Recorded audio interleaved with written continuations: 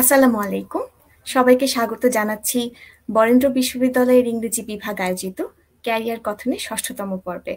সবসময়ের মতো আমি সঞ্চালক হিসেবে উপস্থিত আছি মিফতাহুল জান্নাত মৌনি, বরেন্দ্র বিশ্ববিদ্যালয়ের ইংরেজি বিভাগের প্রভাষক। বর্তমানে শিক্ষা ছুটিতে যুক্তরাজ্যে অবস্থান করছি। আমরা আমাদের ক্যারিয়ার কথন অনুষ্ঠানটি সাজিয়ে থাকি আমাদের শিক্ষার্থীদের জন্য দিক নির্দেশনা হিসেবে।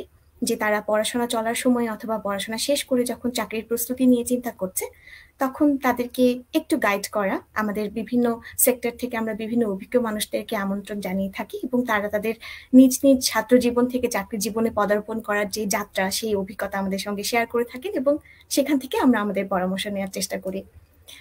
আজকে আমাদের ক্যারিয়ার কথনের ষষ্ঠতম পর্বটি পর্বটি একটু বিশেষ।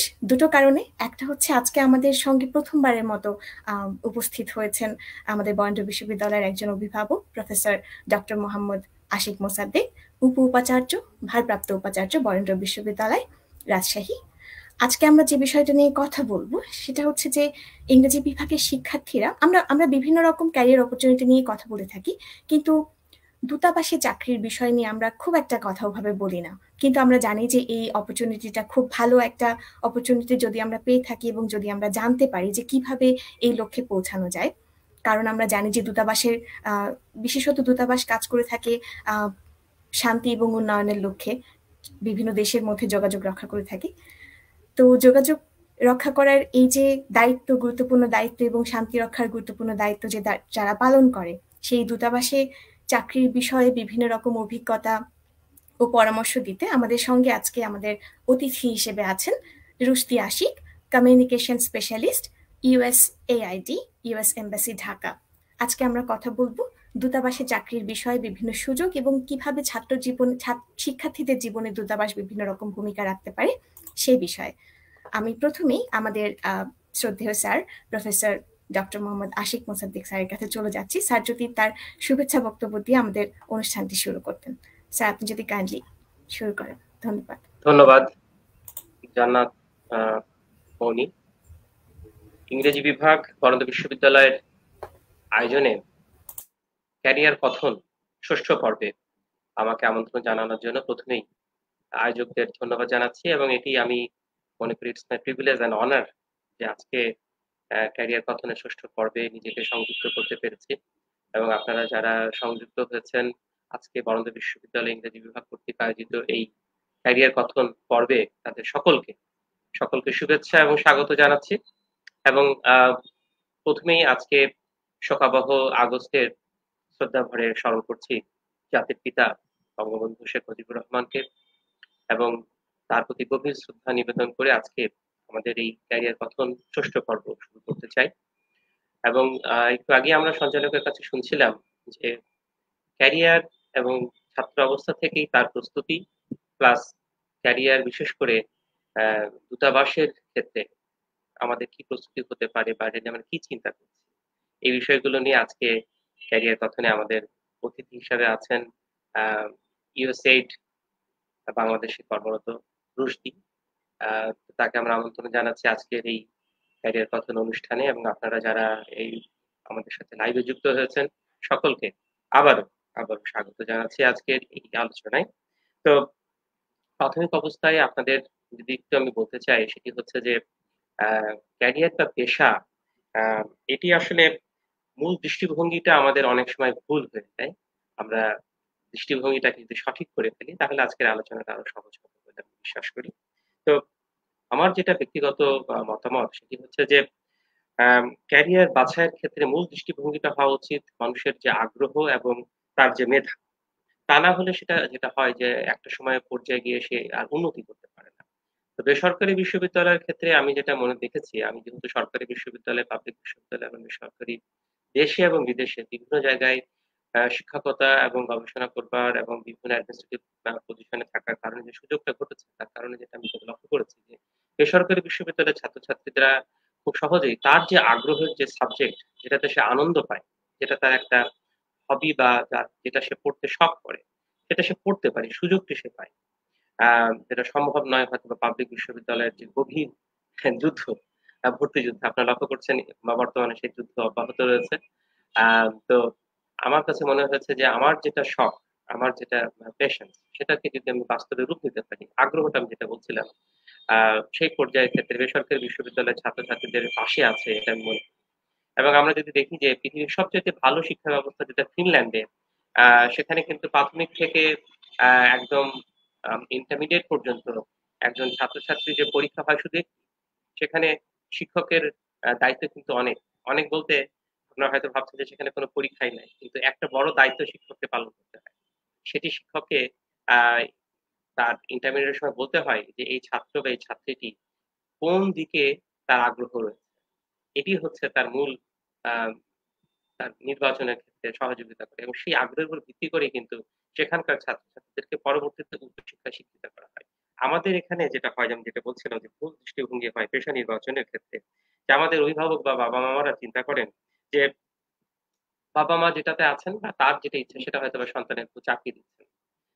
বা বাবা যে চাকরি করতেন সন্তানকে সেটাই তিনি করুন উদাহরণস্বরূপ বলা যেতে পারে যে, আমি দেখেছি যে রেলওয়ের একজন কর্মকর্তা, তিনি ভাবছেন তার ছেলেকে তিনি রেলের কোনো একটা ডিপার্টমেন্টে চাকরি দিবেন। কারণ তিনি পরিচিতি যে বলয়, সেই বলয় থেকে আসলে বেরিয়ে যেতে পারছেন না এবং অনিশ্চয়তার যে বলয়, সেটাকে আসলে ভাঙতে হবে। যদি আমরা ভাঙতে পারি, তাহলে আমরা আসলে বড় হতে পারব এবং এই বৃত্ত ভাঙাটা খুব ইম্পর্টেন্ট যেমন আমরা দেখেছি যে ভারতের প্রয়াত রাষ্ট্রপতি এ জে আব্দুল কালামের জীবনী যদি আমরা দেখি, যে তার বাবা কিন্তু একজন খেয়া নৌকার মাঝি ছিলেন। তো তিনি যদি মনে করতেন যে বাবা যেহেতু মাঝি আছে, আমিও তো মাঝি হতে চাই, তাহলে কি আমরা আজকে সেই রকেট বিজ্ঞানীকে পেতাম? আমরা কি রাষ্ট্রবিজ্ঞানীকে পেতাম? তো তাকে জিজ্ঞেস করা হয়েছিল যে তার যে আগুনের ডানা উইংস অফ ফায়ার এই বইটি তিনি কেন লিখেছেন? তো উত্তরে তিনি বলেছিলেন যে নিজেকে প্রকাশ করবার জন্য নয়। শুধু এইটুকু বলার জন্য যে খুব সাধারণ মানুষ, নিম্নবর্ণের মানুষ যদি তার মেধাকে বিকশিত করতে পারে তাহলে আসলে সে সফল হতে পারে। এবং সবসময় আসলে নিজের মেধা এবং আগ্রহের ভিত্তিতে আসলে পেশা নির্বাচন করা উচিত। তো তারপরও যেটা আমরা লক্ষ্য করছি, আমাদের বাংলাদেশে আমরা আসলে কি বলি? চাকরি বলতে আমরা প্রথমত বুঝি যে সরকারি চাকরি। আসলে এবং আমরা বলি যে কাজের বড় অভাব চাকরি নেই। বর্তমানে বলা যেতে পারে যে বাংলাদেশের যে অর্থনৈতিক মন্দা গোটা পৃথিবীতে চলছে, সেখানে লেটেস্ট যে আমরা দেখছি প্রায় দশ দশমিক ছয় শতাংশ তরুণ বেকার কিন্তু আসলে আমাদেরকে বিশ্বাস করতে হবে যে আমরা কি কাজের জন্য ছুটবো নাকি আমি নিজেই কাজ সৃষ্টি করে নেব? এটি হচ্ছে ইম্পর্টেন্ট একটি পয়েন্ট তো আসলে কাজের অভাব নাই। আমি যেটা বলতে চাই যে কাজ আসলে সৃষ্টি করে নিতে হবে। কেউ আসলে আপনাকে কাজ দিবে না। কাজ সৃষ্টি করে নিতে হয়। আমি যদি বলি যে বাংলাদেশে আজকে ষোলো কোটি মানুষ এই মানুষ যদি পঞ্চাশ কোটি হয়ে যায়, তাহলে কি কাজের অভাব হবে? সবার হবে না। কারণ কারণ আমরা চীনের দিকে দেখি, চীনের জনসংখ্যা কত? একশো পঞ্চাশের ঊর্ধ্বে, ভারতের দিকে একশো বিশ কোটির বেশি। তাহলে সেখানে কি কাজের অভাব হয়েছে? সেখানে তো বাংলাদেশের যেও কাজ করছে। তো আসলে মানুষ যে পৃথিবীতে জন্মগ্রহণ করে, মানুষ তো শুধু আসলে পেট বা হাত নিয়ে জন্মগ্রহণ করে মানুষ জন্মগ্রহণ করে তার মস্তিষ্ক তো এই মস্তিষ্ক কিন্তু সবকিছুর আকর তো এই মস্তিষ্ককে যেটা আমরা বলছি যে আমরা যা কিছু মস্তিষ্ককে শেখাবো, সে কিন্তু সেটাই শিখবে। এবং আধুনিক যে চতুর্থ শিল্প বিপ্লবের এই যুগে আমাদেরকে ক্যারিয়ার নির্বাচন এবং ক্যারিয়ার প্রস্তুতির জন্য আমাদের যেটা করতে হবে, সেটি হচ্ছে যে আমাদের দক্ষতা সৃষ্টি করতে হবে। আমরা যে সাবজেক্টে করি না কেন, আমি যদি মুচি হই, তাহলে যেন সবচেয়ে ভালো মুচি হই। আমি যদি ইংরেজি পড়ি, তাহলে সবচেয়ে ভালো যেন ইংরেজি পড়তে পারি। বা বলতে পারি, শিখতে পারি। এবং আমরা দেখবেন যে প্রত্যেকটি চাকরির ক্ষেত্রেই একটি ছক বা একটি ঘর থাকে, সেটা হচ্ছে ভাষা। এই ভাষার কিন্তু তার প্রফিসিয়েন্সি কতটুকু সেটাখানে বিভিন্ন ভাষা থাকে, বাংলা, ইংরেজি এবং আদার্স তো আমি গুরুত্ব আরোপ করব আজকে যারা আমাদের সাথে যুক্ত হয়েছেন, যারা তরুণ প্রজন্ম, আমাদের বন্ধ বিশ্ববিদ্যালয়ের যারা ছাত্রছাত্রী বা বাহির থেকে যারা যুক্ত হয়েছেন সকলকে, আসলে ভাষাটা খুব ইম্পর্টেন্ট এবং ভাষা শেখাটা ইম্পর্টেন্ট আমরা যদি বাংলা এবং ইংরেজির পরেও আরও দুই একটি ভাষা, স্প্যানিশ কিংবা অন্য কোনো ভাষা, আরবি এগুলো শিখতে পারি, তাহলে কিন্তু কি হবে? আমাদের চাকরির কিন্তু ক্ষেত্রটা অনেক বড় হয়ে যাবে। বিশেষ করে রাষ্ট্র মানে রাষ্ট্রদূত বা এম্বাসি গুলোতে যে চাকরি আমরা বলে থাকি সেই চাকরির ক্ষেত্রে কিন্তু ভাষা একটু বড়, আপনাকে এগিয়ে নিতে পারবে, একটা প্লাস পয়েন্ট এবং আপনি যদি বেশি ভাষা জানতে পারেন, তাহলে আপনার সিভিটা অবশ্যই গুরুত্ব সহকারে দেখা সুতরাং ভাষা, শিক্ষা এই বিষয়টাকে আমাদেরকে গুরুত্ব সহ নিতে হবে এবং সেটা প্রস্তুতি নিতে হবে এখন থেকেই এবং আমাদেরকে নেটওয়ার্কিংটা বাড়াতে হবে। আমরা শুধুমাত্র যে আমি বলব যে মোবাইলে আমরা অত্যন্ত অভ্যস্ত হয়ে পড়েছি, কিন্তু মোবাইলের মিসইউজ বা অ্যাবিউজ না করে মোবাইলের যদি ম্যাক্সিমাম ইউজ করা যায় যে আপনার ভবিষ্যৎ পরিকল্পনা কি সেটাকে বাস্তবায়ন করবার জন্য, তাহলে নিঃসন্দেহে চাকরির পিছনে না ঘুরে চাকরি আমাদের পিছনে ঘুরতে পারবে, এটা আমরা করতে পারব। সেটি সম্ভব তখনই যখন আমরা এটি বাস্তবে রূপ দিতে পারব। তো আমি আজকের অনুষ্ঠানের শুরুতেই আমার বেশি কিছু আর বলতে চাচ্ছি না এবং শেষ করতে চাই বঙ্গবন্ধু শেখ মুজিবুর রহমানের আজকে এই সকাল আগস্টের তার যে শোক, মৃত্যুতে আমাদের গোটা জাতিতে নেমে এসেছে, সেই শোককে আসলে শক্তিতে পরিণত করতে হবে এবং সেই শক্তি থেকে জাগরণ ঘটাতে হবে এবং আমি আশাবাদী সেই জাগরণ থেকে আমাদের কর্মক্ষেত্রে, আমাদের ক্যারিয়ারেও জাগরণ তো এই বলে আমি আমার শুভেচ্ছা বক্তব্য শেষ করছি এবং সকলকে আজকের এই অনুষ্ঠানে আপনার আশা করি যে আপনাদের অনেক বিষয়ের উত্তর পাবেন, মতামত দিতে পারবেন এবং আমরা এখন ফিরে যাচ্ছি আজকের সঞ্চালকের কাছে। ধন্যবাদ, এতক্ষণ আমার বক্তব্য শুনবার জন্য। অনেক ধন্যবাদ স্যার আপনাকে। আপনি অত্যন্ত বাস্তবধর্মী কিছু পরামর্শ দিয়েছেন আমাদের শিক্ষার্থীদেরকে। আশা করছি তারা এর থেকে অনেক উপকৃত হবে। আপনাকে অসংখ্য ধন্যবাদ আবারও। কৃতজ্ঞতা জানিয়ে আমরা আমাদের অতিথি, আজকের অতিথি রুস্তি আশিক ওনার কাছে চলে যাচ্ছি। আপনি কেমন আছেন? আলহামদুলিল্লাহ ভালো আছি। ধন্যবাদ আমাকে এখানে আমন্ত্রণ জানানোর জন্য এবং স্যারকেও ধন্যবাদ। আমার যারা বরেন্দ্র ইউনিভার্সিটি, যারা পরিচিত, যারা আমাকে চিনে, জানে বা মানে চিন্তা করেছে যে না I could add a little value uh, to the students uh, uh, আমি সবাইকে ধন্যবাদ জানাচ্ছি এখানে আনার জন্য থ্যাংক ইউ সাথে আপনাকেও আসলে ধন্যবাদ দিয়ে শুরু করছি কারণ আপনি আপনার ব্যস্ততার মাঝে আমাদেরকে সময় দেওয়ার জন্য রাজি হয়েছে প্রথমে আপনার কাছে জানতে চাইব একটু একটু অতীত নিয়ে আপনার কাছে শুনতে চাইব। আপনি যখন ছাত্র ছিলেন ছাত্র অবস্থায় আপনার ছাত্র জীবনে আপনি কোথায় পড়াশোনা করেছেন এবং পড়াশোনার সময়ে আপনার চাকরি বিষয়ে কি ধরনের পরিকল্পনা ছিল জীবনে? I will be uh, I will be frank, I'll be very uh, precise about my education. Uh, frank কেন বলছি? আসছি আমি কথাটাতে আমার আমি আমি খুলনার ছেলে আমার school college Khulna, city college, Khulna জেলা স্কুল এবং তারপরে আমি রাজশাহী ইউনিভার্সিটির ইংলিশে পড়েছি পাঁচ, ছয় সেশন। এগারোতে মাস্টার্স করেছি বিডিউতে সেশন জ্যাম। অনেস্টলি স্পিকিং ওই টাইমটাতে যখন, দুই হাজার ছয় যখন আমরা ইউনিভার্সিটিতে ঢুকি, ছয় ঢোকার পরে এগারো, পাঁচ বছর এই টাইমটাতে, ওই যে একটা, ওখানে প্রথম কথা একটা সরকারের গভর্নমেন্টের ট্রানজিশন পিরিয়ড ছিল ওই টাইমটা আমাদের বাংলাদেশের জন্য। প্লাস আমরা কেবল ডিজিটাইজেশনের ইয়ে করছিলাম আর কি, ঢুকছিলাম the era of digital progress বা রেভলিউশন আমরা যেটাই বলি না কেন আর কি। তো সবকিছু মিলিয়ে তারপর কেবল মানে internet is getting little faster তারপরে আমরা গেমিং এ ইয়ে হচ্ছি। তো ওভাবে চিন্তা করলে যদি আমি ক্যারিয়ার নিয়ে বলি, তো আমাদের ওই সময়টায় মানে যদি আমার স্পেসিফিক ইয়ে হয় যে ইফ ইউ আস্ক মি যে আমার ক্যারিয়ার নিয়ে ওই সময় চিন্তাটা কি ছিল অনেস্টলি স্পিকিং আমি until I was in fourth year আমি আসলে চিন্তাই করি নাই যে আমি আমার কোন দিকে যাওয়া উচিত দ্যাটস ওয়ান সেকেন্ড হলো আমি যখন শুরু করেছি ছয় সাত আট, ওই টাইমটাতে ছয় সাত মানে আমার ফার্স্ট ইয়ারে honestly speaking I was not a brilliant student I would say brilliant but I was not a good student like I was not in like first five, five, seven, eight, nine, ten, whatever the number is আর কি মানে আমি back bencher ছিলাম আর তো back bencher থাকার কারণে first ইয়ারের রেজাল্টটা ভয়াবহ খারাপ হয় আর কি। মানে এটা আমি I can not express in words যে এই ভয়াবহতার লিমিটটা কতটুকু। খারাপের মানে সংজ্ঞায় সংজ্ঞায়িত করা যায় না। I use to do music I use to do theatre in Rajshahi so ওই কারণে দেখা যাচ্ছে যে পড়ায় মনোযোগ কম ছিল আর কি উইচ ইজ ভেরি ব্যাড এবং এটার কারণে ফার্স্ট ইয়ার রেজাল্টটা খারাপ হয় এবং ফার্স্ট ইয়ার রেজাল্ট যখন খারাপ হয়, আমার মধ্যে একটা টেনশন ঢুকে যে, এবং আমরা সবাই যাই রাজশাহী ইউনিভার্সিটির ইংলিশের ওই টাইমটাতে আসলে ইন টার্মস অফ মানে মার্কিং টিচার ছাত্রদেরকে, আমরা সবাই জানি একটু কনজারভেটিভ ছিল, আমাদের শ্রদ্ধা শিক্ষক বলেন বা সবকিছু মিলায় আর কি। It was it was the culture it was the culture so ওই কারণে আমি টেনশনে পড়ে গেছিলাম যে আসলে আমার কি উচিত। প্রথমে আমি চিন্তা করলাম যে এই রেজাল্ট দিয়ে সরকারি চাকরির তো প্রশ্ন ওঠে না ব্যাংকে হবেও না, আমার ব্যাংক কখনো ইচ্ছাও ছিল না। ব্যাংকে হবে না তার কারণ হলো গিয়ে আমার যদি মানে সেকেন্ড ক্লাস মার্কস না তাকে ব্যাংকে বই থেকে হবে।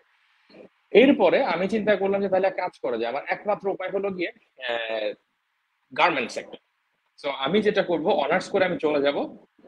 মাস্টার্স এর আমার দরকার নেই, কারণ আমার রেজাল্টের থেকে আর ইমপ্রুভ হবে না। আমি ধরেই নিয়েছিলাম ফার্স্ট ইয়ারের পরে মানে ওয়াজ গ্রেট ডিপ্রেশন তো এরপরে যখন আমি ফার্স্ট ইয়ার থেকে সেকেন্ড ইয়ার উঠি সেকেন্ড ইয়ারের শেষের দিকে সামথিং হ্যাপেন্ড আমার মনে it was I believe it was Shahidullah sir and Shahnaz Yasmin ma'am and Enamul Haque sir who motivated me like anything মানে they they they saw something in me. I don't know what they have seen.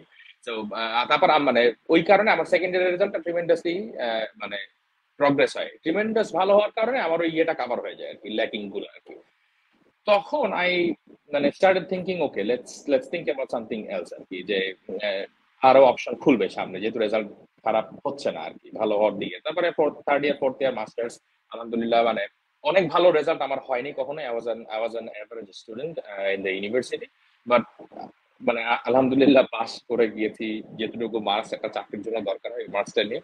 এই কথাটা বলার উদ্দেশ্য হলো আমাদের, আমার যারা ছাত্র, ছাত্রী যারা দেখছে, যে প্রথম কথা হলো গিয়ে একটা এক্সাম বা দুইটা এক্সাম খারাপ হলে হতাশ হওয়া যাবে না দ্যাটস ওয়ান সেকেন্ড হলো যে ইন টার্মস অফ ক্যারিয়ার আমি যে বলেছি যে আমি চার ফোর্থ ইয়ারে আসার আগ পর্যন্ত আমি চিন্তাই করিনি যে আমি আসলে কোন দিকে যা থার্ড ইয়ারে আসার আগ পর্যন্ত আমি চিন্তাই করিনি যে আমি কোন দিকে ক্যারিয়ারটা নিব বা আদৌ কি হতে পারে আমার। তার আগে শুধু বড় ভাইদের দেখতাম কি করতেছে, না করতেছে, ওই হিসেবে চিন্তা করতাম যে আমি কি করা উচিত। আমার মনে হয় আমাদের এখন অনেক কিছু পাল্টেছে। সবাই, প্রত্যেকটা university be it Rajshahi university be private university be it national university আমাদের স্টুডেন্টসরা এখন অনেক প্রোগ্রেসিভ অনেক কিছুর সাথে যুক্ত হচ্ছে, অনেক অপশনস খুলতেছে স্টুডেন্ট অবস্থায় অনেক ভলেন্টিয়ার যা কাজের সাথে যুক্ত হচ্ছে, অনেক কিছু করতেছে। সো আমার মনে হয় এই ক্যারিয়ারের প্যাথটা কোন দিকে হবে this needs to be decided at least second year if not first year মানে যখন আমরা সেকেন্ড ইয়ারে উঠে যাই, আর ওই টাইমটাতে আমার মনে হয় যে ডিসাইড করা বলতে কি মানে একটা কয়েকটা অপশন একসাথে করে ফেলা যে, আমি এইটা ফার্স্ট সেকেন্ড থার্ড ফোর্থ তার প্রায়োরিটি করা যে, এইটা না হলে এটা এটা না হলে এটা, এইভাবে আমরা ইয়ে করব আর কি but you have to be very careful in terms of what you choose sir আমি স্যারের কথা জানতে চাই। স্যার খুব ভালো একটা কথা বলেছিল যে আমাদের অনেককে দেখা যায় যে মানে আমরা যেটা, আমার আমার যেটা প্যাশন এবং আমার যেটা দক্ষতা, এই দুটো যদি একটা মানে মিল না হয় না মানে if it does not sync well then your career with not progress well আর কি। ব্যাপারটা এরকম আর কি। তো that's like to answer your first question অনেক ধন্যবাদ। আপনাকে বিশেষ করে ধন্যবাদ ফ্র্যাঙ্কলি সবকিছু বলার জন্য। কারণ আমার মনে হয় এভাবে বললেই আসলে সমস্ত শিক্ষার্থী যারা আছে আমাদেরকে দেখছেন তারা আরও বেশি রিলেট করতে পারবে যে প্রত্যেকেরই কিন্তু এই চিন্তাটা থাকে যে আচ্ছা আমি তো ভালো কিছু করছি না তাহলে আমাকে দিব কিছু আরেকটা ছোট কেন বলছি মানে দেখা যাচ্ছে কি যে আমার মনে আছে যে সৌদুল্লাহ স্যার একদিন আমাকে ডেকে বলছেন যে তোমাকে আমি সকালবেলা যে উঠে এসে দেখি যে সুমনের দোকানে বসে থাকো আর বিকালে যখন আমি ক্যাম্পাস থেকে তখন ওখানে বসে থাকো। মানে এই মানে আর মানে মানে অল আই ডিড ইজ মানে ওই হ্যাঙ্গিং আউট সুমনের দোকানে আর টিউশনে হ্যাঁ সো ওইটা মানে it's not it's not an ideal example to follow I will not uh, request or uh, pledge or whatever it is to follow this example, but মানে it somehow worked out well. আর কি আমি জানি না কেন, but something happened আর কি. Anyways, thank you. আমরা এটাকে positively দেখতে পারি এইভাবে যে হ্যাঁ তারা হয়তো আপনাকে আপনার এই পাথটা ফলো করবে না, কিন্তু যারা এই অবস্থায় আছে এবং নিজেদেরকে অলরেডি মনে করছে যে ওকে আমাকে দেওয়ার কিছু হবে না, একদম হোপলেস হয়ে থাকছে, তারা অ্যাটলিস্ট ভাবতে পারবে যে, না রুষ্টি ভাই আর এরকম অভিজ্ঞতার পরেও সে আজকে যে অবস্থানে আছে, তাহলে আমাদেরও একটা চান্স আছে, এরকম একটা ভাবতে পারে। আপনি যেই এখন যেখানে কর্মরত আছেন আপনার এই চাকরি জীবনটা এই সেক্টরটা বিশেষ করে এটা কখন আপনি জানতে পেরেছিলেন? এটা কি ছাত্র জীবন শেষ করার পর নাকি ছাত্র জীবনে থাকা অবস্থাতেই জানতে পেরেছিলেন? এটার পেছনে একটা ইন্টারেস্টিং স্টোরি আছে I should tell I think it was second year শেষ বা অ্যারাউন্ড অ্যারাউন্ড দ্য টাইম আর কি একদিন কাজলা গেটে আমরা চা খাচ্ছি ফ্রেন্ডরা দুই তিনটা ফ্রেন্ড মিলে তো তখন হঠাৎ করে একটা uh, it's a very funny story, I, but I tell it to everyone. It's a very, uh, it's, it's, it's one of the uh, most important part of my life in terms of my career. Okay.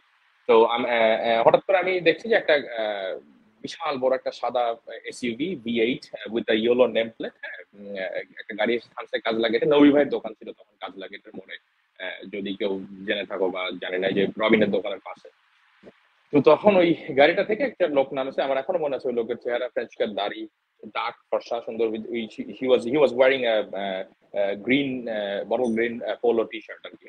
তো নামলো, নেমে নবী ভাইয়ের দোকানে যে বলতেছে নবী ভাই আমাকে একটা ইয়ে দেন। কি বলে? চা দেন, একটা সিগারেট দেন। তো তারপরে হলো ওই লোকটা বসে খাচ্ছে আর, চা খাচ্ছে আর আমরা পাশে বসা গল্প টল্প করছি আর কি। তো আর আমার ছোটবেলা থেকে মানে আমার অনেক ফ্রেন্ড আমাকে প্রশ্ন বাবা বলে ডাকে আর কি হ্যাঁ I ask lot of questions আর কি অনেকের অনেকের মোবাইলে আমার নাম রুশদি ইন উইদিন প্যারেন্থিসিস কেন নামে সেভ করা আর কি I ask like lot of কেন আর কি হ্যাঁ। তো আমার মানুষের সাথে যেচে পরে কথা বলার একটা স্বভাব আছে আর কি মানে এমনি বুঝাই মানে just just to know people আমি কথা বলব তো তারপরে আমি যখন আমি ওই স্বভাবের থেকেই আউট অফ মাই কিউরিয়াসিটি আমি ওনার কাছে যে সালাম দিয়ে বলছি যে আপনি এমনি অনেকক্ষণ ধরে বসে আছেন, আমি জাস্ট আউট অফ কিউরিয়াসিটি আপনি কি করেন বা কই থেকে এসেছেন একটু জানতে চাচ্ছি। উনি আমাকে প্রথমে আগে কোয়েশ্চেন করছে অবভিয়াসলি কারণ অনেক বড় ওই সময় আমার থেকে যখন আমি বললাম, আমি ইংলিশে পড়ি, সবাই মাত্র বুঝছি তখন ক্যাম্পাসে আর কি, তখন উনি বললেন, উনি তখন ইউএনএ চাকরি করে আর কি। তো উনি ইউএনএ তখন ইন্টারপ্রেটার ছিল আর কি ট্রান্সলেটার ছিল প্লাস ডেভেলপমেন্ট কি যেন একটা ছিল, আমি ভুলে গেছি এক্সাক্ট মানে ইকোনমিক্স স্টুডেন্ট আমাদের ইউনিভার্সিটি এবং he had a course on French language আর কি so he had that capability to আর কি। এবং আমরা জানি কিন্তু French is very important for development sectors in all over the world আর কি second most spoken language internationally right এবং UN এবং আমরা জানি ইউএন এর সেকেন্ড ল্যাঙ্গুয়েজ কিন্তু ফ্রেঞ্চ অফিসিয়ালি সো ওইটা ওনার একটা অ্যাডভান্টেজ ছিল। তো ওর পরে জাস্ট টুকটাক পাঁচ দুই পাঁচ মিনিট কথা হয়েছে হার্ডলি আর কি তারপর উনি চলে গেছে ওর পর থেকে মানে সামথিং হ্যাপেন্ড ইন মি তখন আমার চিন্তা হলো যে মানে মানে গাড়ি দেখে, উনার হাব ভাব দেখে, সবকিছু মিলা আমি যদি চাকরি করি আবার একটা ইয়েলো নেম প্লেট আলা গাড়ির যে অর্গানাইজেশন আছে, এই অর্গানাইজেশনে আমার চাকরি however it was for that মানে blink of a second or moment তারপরে তো চলে গেছে, আমিও ভুলে গেছি, কি করব, না করব, শেষ। আই বল, আমি যে বললাম ফোর্থ ইয়ার আনকি ফোর্থ ইয়ার আমি এটা জানতাম না। ফোর্থ ইয়ারে একদিন what happen there was some lady I didn't even remember একজন শহীদুল্লাহ স্যারের কাছে রিচ আউট করে পুলিশ একাডেমি থেকে, বাংলাদেশ পুলিশ একাডেমি থেকে। আপনার প্রশ্ন ছিল যে ক্যারিয়ারে কীভাবে এসেছি আমি এখানে right that was your question okay তো পুলিশ একাডেমি থেকে একজন Shahidullah sir sir Shahidullah sir তখন আমাদের চেয়ারম্যান ছিলেন আর কি খুব সম্ভব আই বিলিভ হ্যাঁ আমি আমরা তখন ফোর্থ না, শহীদুল্লাহ স্যার না, শহীদুল্লাহ স্যার তখন কেবল ডিন হয়েছেন খুব সম্ভব আমি এক্স্যাক্টলি ভুলে গিয়েছি, খুব সম্ভব ডিন হয়েছেন। আমাদের ওই যে ডিনস কমপ্লেক্সে বসতো তখন স্যার। তখন ওনার কাছে রিচ আউট করে যে টু নো যে ইংলিশ ডিপার্টমেন্টে ভালো টকেটিভ স্টুডেন্টস কারা আছে যাদের who can present in front of an audience এবং যাদের ইন্টারপ্রিটেশন স্কিল আছে ট্রান্সলেশন করতে পারবে তারা। এর মাঝখানে মামুন স্যার আমাদেরকে দিয়ে একটা ট্রান্সলেশন করাইছিল আর কি কোনো একটা কারণে আর কি। তো এনিওয়েজ তো শহীদুল্লাহ স্যার ওখান থেকে পনেরো ষোলোটা সিবি ওনাকে দেয় আর কি। আমার একটা সিবি ওটার মধ্যে ছিল আর কি তার মধ্যে। তো দেওয়ার পরে দেওয়ার পরে ওই পনেরো ষোলো জনের থেকে তিনজনকে উনি তখনই পরের দিন ইন্টারভিউ করে কল করে ওভার দ্য ফোনে ইন্টারভিউ হয় আর কি। ইন্টারভিউ হয়ে সিলেক্ট করে ফেলে, আমাকে সিলেক্ট করে না আমি তখন মাস্টার্সের মাঝামাঝিতে আর কি। It was a part time job আর কি। পে অ্যাজ ইউ গো আর কি। একদিন কাজ করলে একদিনের টাকা আর কি এরকম। মানে ভেরি ইয়ে আর কি মিনিমাল অ্যামাউন্ট তো আমার হয়নি। আমাদের জুনিয়রের একজন হয়েছিল সিনিয়র দুইজন ছিল। ঢাকার একজন ছিল চাকরি করা শুরু করে এটা ছিল কি ইউএস ডিপার্টমেন্ট অফ জাস্টিসের একটা ট্রেনিং চলতো পুলিশ একাডেমিতে পুলিশ ডেভেলপমেন্ট ট্রেনিং আর কি হ্যাঁ ইনভেস্টিগেশন ডেভেলপমেন্ট ট্রেনিং ওই ট্রেনিং এর আমেরিকানরা আসতো বাট আমাদের বাংলাদেশের পুলিশদের যেটা হয় যে আমেরিকান so American accent কিন্তু even if you understand English, it's sometimes difficult to understand the accent, right? Uh, even it's some same for the British.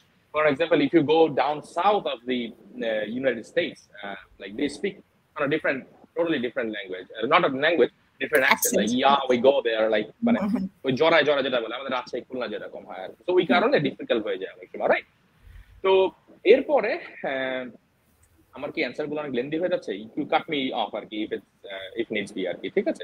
তো নো ওয়ারিজ তো এরপরে আমি তখন যেটা করলাম যে আমি ওই আমি স্যারকে যে জিজ্ঞেস স্যার সবাইকে তো ডাকলো আমাকে তো ডাকলো না। স্যার বলে এক কাজ করো আমি তো মহিলার নাম্বার দিতেছি তোমাকে। তুমি ওনাকে একটা টেক্সট কর যে কোনো আপডেট আছে কিনা।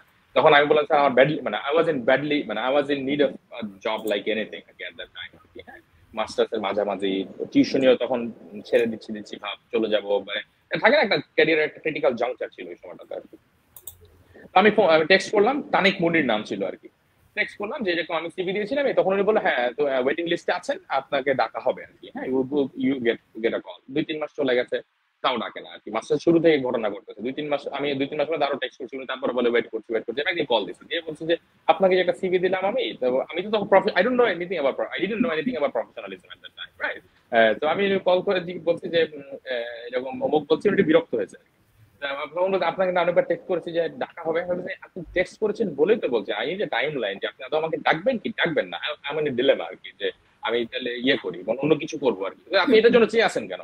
আমি আমি এটার জন্য চেয়ে নেই বাট আমার এটা দরকার। হ্যাঁ আপনি আমাকে না ডাকলে বলে দিবেন যে আমি ডাকবো না কিন্তু আমি সিভি দিচ্ছি ডাকবেন না। আমার তখন এই জিনিসটা ওই কনসেপ্টটি মাথায় নাই যে সিভি দিলেই যে ডাক মানে সিভি দিলেই যে ডাকবে না এইসব আমার চিন্তা হলো আমার এই চাকরিটা পেতে হবে। মাথায় আসে নাই। আমার এই চাকরিটা পেতে হবে by hook or by crook I need this job. Badly তো এরপরে উনি বলছেন যে আমাদের ভ্যাকেন্সি যদি হয় আমি ডাকবো ইটস ভেরি পার্ট টাইম জিনিস আর কি আপনার মনে মাথা রাখতে হবে নাথিং কনক্রিট আর কি। কিন্তু আমার মাথায় আছে যে আমার এই চাকরিটা পেতে হবে কারণ it's something to do with the embassy আর কি হ্যাঁ? এরপরে আমি যেটা করলাম যে আবার একদিন ফোন দিছে ওনাকে। দিয়ে তখন উনি আমাকে বলছে যে ভালো হয়েছে আপনি আমাকে ফোন দিয়েছেন আমাদের একটা ভ্যাকান্সি হয়েছে। ইট ওয়াজ আ ক্লিক তো আমি আপনার অমুক দিন ইন্টারভিউ নেব আর কি। অমুক দিন চলে গেছে ইন্টারভিউ আর নাই না। পরের সপ্তাহে আউট অফ নো কল দিছে আমাকে। একটা নাম্বার থেকে। কল দিয়ে বলতেছে যে, আপনি রেডি ইন্টারভিউর জন্য? মানে আওয়াজ I I caught I got caught off guard আর কি, যেটাকে বলে যে, হঠাৎ করে মানে বলল যে হ্যাঁ ঠিক আছে, দিব। এরপরে একজন আমেরিকান ভয়েস আসলো I think it was Forgot the name of that lady. Anyways, uh, তো উনি আমার ইন্টারভিউর জন্য যেটা করল যে উনি একটা একটা প্যারাগ্রাফ পড়ল সিমালটেনাসলি আর কি হ্যাঁ? সো আমরা যেটা ওই সময় যেটা করতাম আর কি একজন অনর্গল ইংলিশ বলে যাচ্ছে সাইডে ওই একই স্পিডে একই আমাকেও ইন্টারপ্রিটেশন থ্রো করতে হচ্ছে আর কি হ্যাঁ? শুনে একসাথে আর কি। সিমালটেনাস ইন্টারপ্রিটেশন যেটাকে আমরা তো আমি ওটা করে গেলাম। করে যাওয়ার পর উনি আমাকে ইউ ডিড ভেরি গুড আমি ওটাও বাংলা করে দিচ্ছি যে আপনি অনেক ভালো করেছেন। তখন no you did very good আমি না আপনি অনেক ভালো করেছেন। স্টপ তোমার ইন্টারভিউ ভালো হয়েছে? Okay thank you very much এরপরে বলেছে ডাকবো কিন্তু কবে ডাকবো এখনও জানি না। তার এক মাস পরে আমাকে ফোন দিছে যে ঠিক আছে এর ইজ দ্য কন্ট্রাক্ট পেপার আপনি আসেন। আমি দুই সপ্তাহ কাজ করতাম আর তিন সপ্তাহ ছুটিতে থাকতাম মাসে আর কি। ছুটিতে সময় টাকা নাই আর কি। এভাবে আমার শুরু হয় আর কি। বাট ইন্টারেস্টিং পার্ট ওয়াজ যে এরপরে শুরু হওয়ার পরে এগারো সাল গেল বারো সাল গেল বারো সালের মাঝে মাঝে এসে আমি তখন রিয়েলাইজ করলাম যে এখানে এভাবে চলবে না। কারণ it's not get it's not taking me anywhere আর কি। ওই ক্যারিয়ারটা আসলে it's not a career at all but আমার একটা এক্সপিরিয়েন্স হয়েছিল ট্রেনিং কোঅর্ডিনেশনের এক্সপিরিয়েন্স অ্যাডমিনিস্ট্রেটিভ স্কিল হয়েছিল ইন্টারপ্রিটেশন স্কিলটা তো ছিল report writing writing an email এই সব কিছু আমার হাতে করি সবকিছু ওখান থেকে হয়েছিল। তারপরে আমি Tanika Parker who happen to my boss happen to be my boss আমি ওনাকে বললাম যে আপা আমার এখন বিভিন্ন জায়গায় অ্যাপ্লাই করা শুরু করব তো বলল করো। এবার আমি এম্বাসিতে অ্যাপ্লাই করি আমাকে ডাকে না। যেদিন ডাকলো এম্বাসিতে একটা সেকশনে উনি আমাকে যেতে দেয়। ফর সাম রিজন উনি আটকে ফেলছে। এটা বাংলাদেশে কিন্তু আমাদের বাঙালি সুপারভাইজার একটা বড় নশান আর কি যে এমপ্লয়ীদের ছাড়ে না আর কি রাইট। এরপরে জুনের তেইশ তারিখ দুই হাজার তেরো আমি ইনফরমেশন অ্যাসিস্ট্যান্ট একটা সার্কুলার হয় ইনফরমেশন অ্যাসিস্ট্যান্ট পাবলিক অ্যাফেয়ার সেকশনে আমেরিকান এম্বাসিতে আমার ওয়াইফ ও আহ, তার এর মধ্যে আবার আমি বেকার অবস্থায় কি আই গট ম্যারিড আর কি তো anyway that's a funny story by tell you off the camera sometime তো আমার ওয়াইফ আমাকে বলছে আপনার? অনেক কিছু দুই- হাজার এগারো বারো তেরো ইট ওয়াজ আ হিউজ মানে upside down for my life আর কি হ্যাঁ। তো আমার ওয়াইফ আমাকে বলছে যে এরকম তুমি না অ্যাপ্লাই করতে চাইছিলাম দূর ডাকে না কিছু না আমি অ্যাপ্লাই করব না। একত্রিশ তারিখ লাস্ট ডেট ছিল জুনের। তখন উনত্রিশ তারিখ রাজশাহীতে রাত ট্রেন হয়ে গেছে। বলছি, না তুমি এখনই করো নাহলে কুরিয়ারে যাবে না। উনচল্লিশ পেজ হলো ফর্ম আমাদের একটা ফর্ম থাকে তখন ছিল অনেক বড় ফর্ম পূরণ করতে হতো আর কি। সব মিলে একুশটা না উনচল্লিশটা পেজ আর কি। ওই ফর্ম পূরণ করে তারপরে কাজলায় এসে একটা দোকান থেকে ওটাকে ইয়ে করে কুরিয়ার কন্টিনেন্টাল কুরিয়ার ছিল কাজলার ভিতরে। কুরিয়ার করে আসলাম আমি জানতাম না যাদব একটা কুরিয়ারে পরের দিন পৌঁছাবে কিনা। জুন জুলাই আগস্ট সেপ্টেম্বর অক্টোবরের এক তারিখে আমি একটা ফোন আসছে। আমি তখন ওই ইসি ট্যাপ ইসি ট্যাপ আমার অর্গানাইজেশন ছিল আমি পুলিশ একাডেমিতে আমাকে বলছে যে এরকম কল দিয়েছি your name is this you have an int- uh, you have embassy come tomorrow. I said um, it's a wrong number আমি কেটে দিয়েছি। উনি আবার ফোন দিয়েছি দিয়ে আমাকে বলছে আরে যে আপনি অ্যাপ্লাই করেন না। আমি অমুক তখন আমার মাথায় পড়ছে আমি তো চার মাস আগে অ্যাপ্লাই করছিলাম। আমি বলছি ইয়েস ইয়েস ইয়েস আমি আসব। এরপরে আমি আপাকে বলছি আপা আমার ছুটি লাগবে by hook or by crook আর কি আমাকে না দিতে দিলে আবার হবে না। তারপর গেলাম ইংলিশ টেস্ট দিলাম ইংলিশ টেস্টের পরে প্রথমে আবার আমি ফিরে আসলাম ফিরে আসার পরের দিন আবার ফোন দিয়েছে যে you got pass in the English test come for return exam এবার যে আবার রিটার্ন এক্সাম দিলাম আবার ফেরত গিয়ে ফেরত ফেরত চলে এসে, ফেরত চলে এসে আবার বলে যে ইউ হ্যাভ অ্যান ইন্টারভিউ আসলাম। তারপরে আবার দেখে, আবার সেকেন্ড ইন্টারভিউ আর কি। হ্যাঁ লাস্ট দুইজন টিকে ছিলাম আর কি, একজনকে নিবে। তো by the grace of almighty the last one happens to to be my আর এভাবেই শুরু ইনফরমেশন অ্যাসিস্ট্যান্ট দিয়ে which was a mid level grade এবং তারপর আস্তে আস্তে আমাদের এম্বাসিতে যেটা হয় you don't get auto promotion আর কি হ্যাঁ? Every time you apply for new position for higher position you have to compete for other people with other মানে নতুন ভাবে জয়েন করার মতো প্রতিবার। নতুন ভাবে জয়েন করার মতো। আচ্ছা আচ্ছা।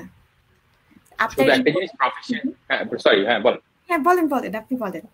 প্রফিসিয়েন্সি টেস্টটা একবার দিতে হয় আর কি যেহেতু আমি পাস করে গিয়েছি আর কি এটা আমার ইন্টারনালের জন্য সুবিধা আর কি বাট প্রতিবারই রিটার্ন থেকে শুরু করে ইন্টারভিউ প্রতিবারই সবার সবকিছু দিতে তো ওখান থেকে আস্তে আস্তে আমি দুই হাজার ষোলোতে ইউএসএআইডিতে আসি এ কমিউনিকেশন অ্যাসিস্ট্যান্ট এবং তারপরে করোনা ইয়ার টু টোয়েন্টি টোয়েন্টিতে I got promoted to senior position which is communication specialist আর কি তো দ্যাটস হাউ ইট দারুণ বিষয়। আমি যে বিষয়গুলো পিক করেছি আপনার পুরো অভিজ্ঞতা থেকে সেটা হচ্ছে যে কমিউনিকেশন স্কিল এটা একদম আপনার ন্যাচারাল আপনার ভেতরেই আপনি স্টুডেন্ট অবস্থা থেকেই প্রত্যেকে যে কোয়েশ্চেন করতেন আপনার নাম যে কেন হয়ে গেছে।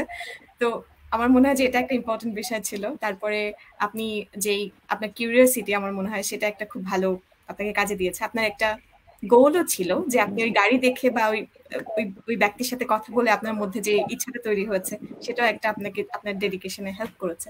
আর তার সঙ্গে আপনি যে প্রসেসগুলো পুরোটা বলে গেলেন এই পুরো প্রসেসে আপনি কি কি ভাবে, কোথায় কোথায় কি কি ফেস করেছেন?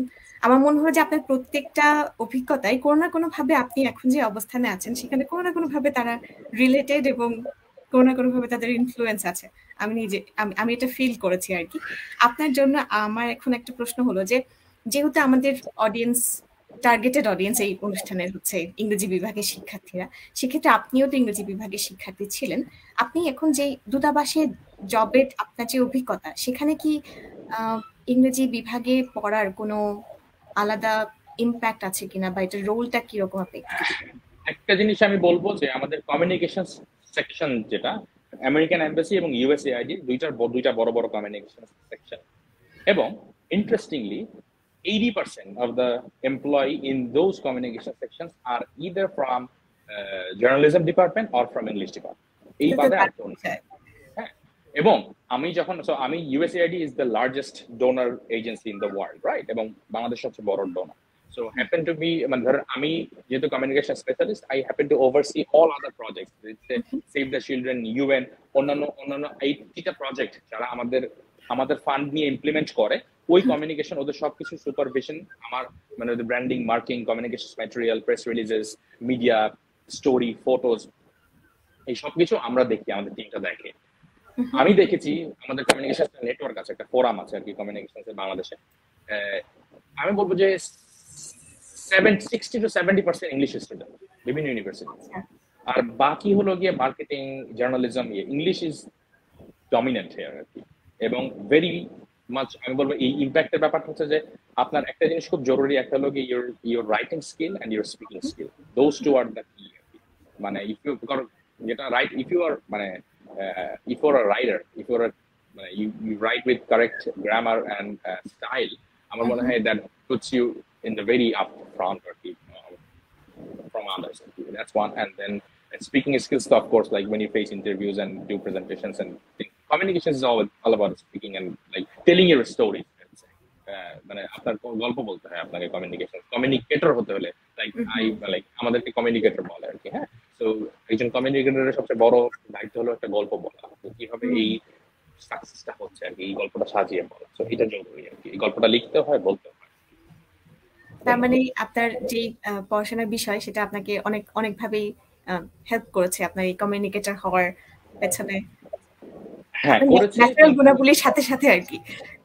হ্যাঁ করেছে এবং আমি বলব যে এটার সাথে আর কিছু জিনিস দরকার যেটা হলো যে আমাদের ডেভেলপমেন্ট কমিউনিকেশন একটা আরেকটা আমি জানি সাবজেক্ট আছে কিন্তু আর কি হ্যাঁ জার্নালিজমের মধ্যে পড়ায় পাবলিক রিলেশনের মধ্যে পড়ায় আর কি। তো শুধু যে ইংলিশ ইটসেলফ হেল্পফুল আমি বলব না।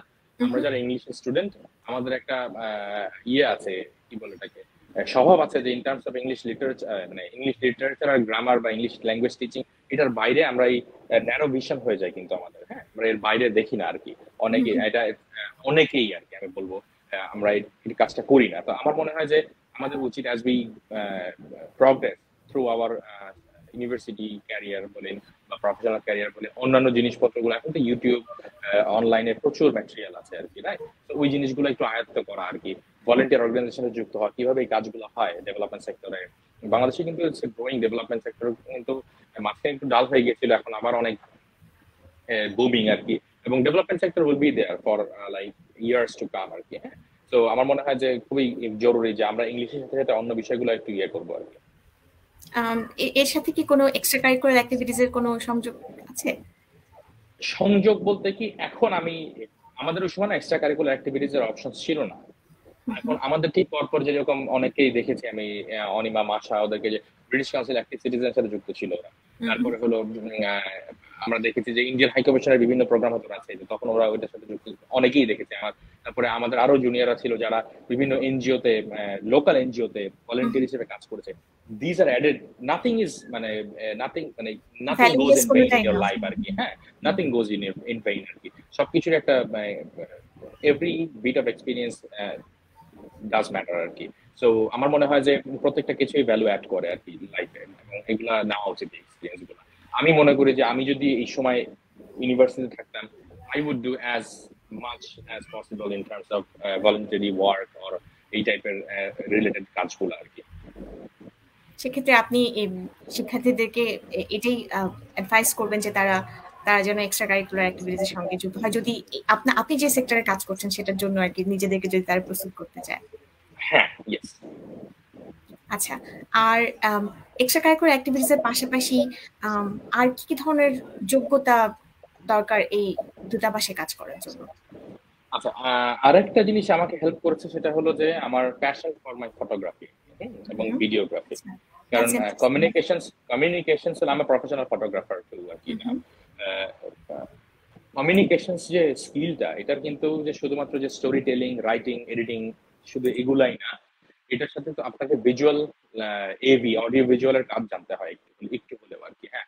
আপনি পরেও শিখতে পারেন, যেরকম আমি প্রথমে যখন মানে আমার আগের যে চাকরিটা, প্রথমে যে চাকরিটা পার্ট নাই, ওইটাতে আমি I use to work with তিন মাস, আমি কেন জোন্স নামে একজনের সাথে কাজ করেছিলাম who use to be one of the best forensic photographer in the United States আর কি উনি যখন তিন মাস বাংলাদেশে ছিল, উনি আমাকে একদম ক্যামেরা ধরে, হাতে ধরে ক্যামেরার ins and outs and everything DSLR photography everything আমাকে শেখায়। আমার আগে থেকেই এই প্যাশনটা ছিল, আমি ইউটিউবে দেখতাম বা চেষ্টা করতাম শেখার।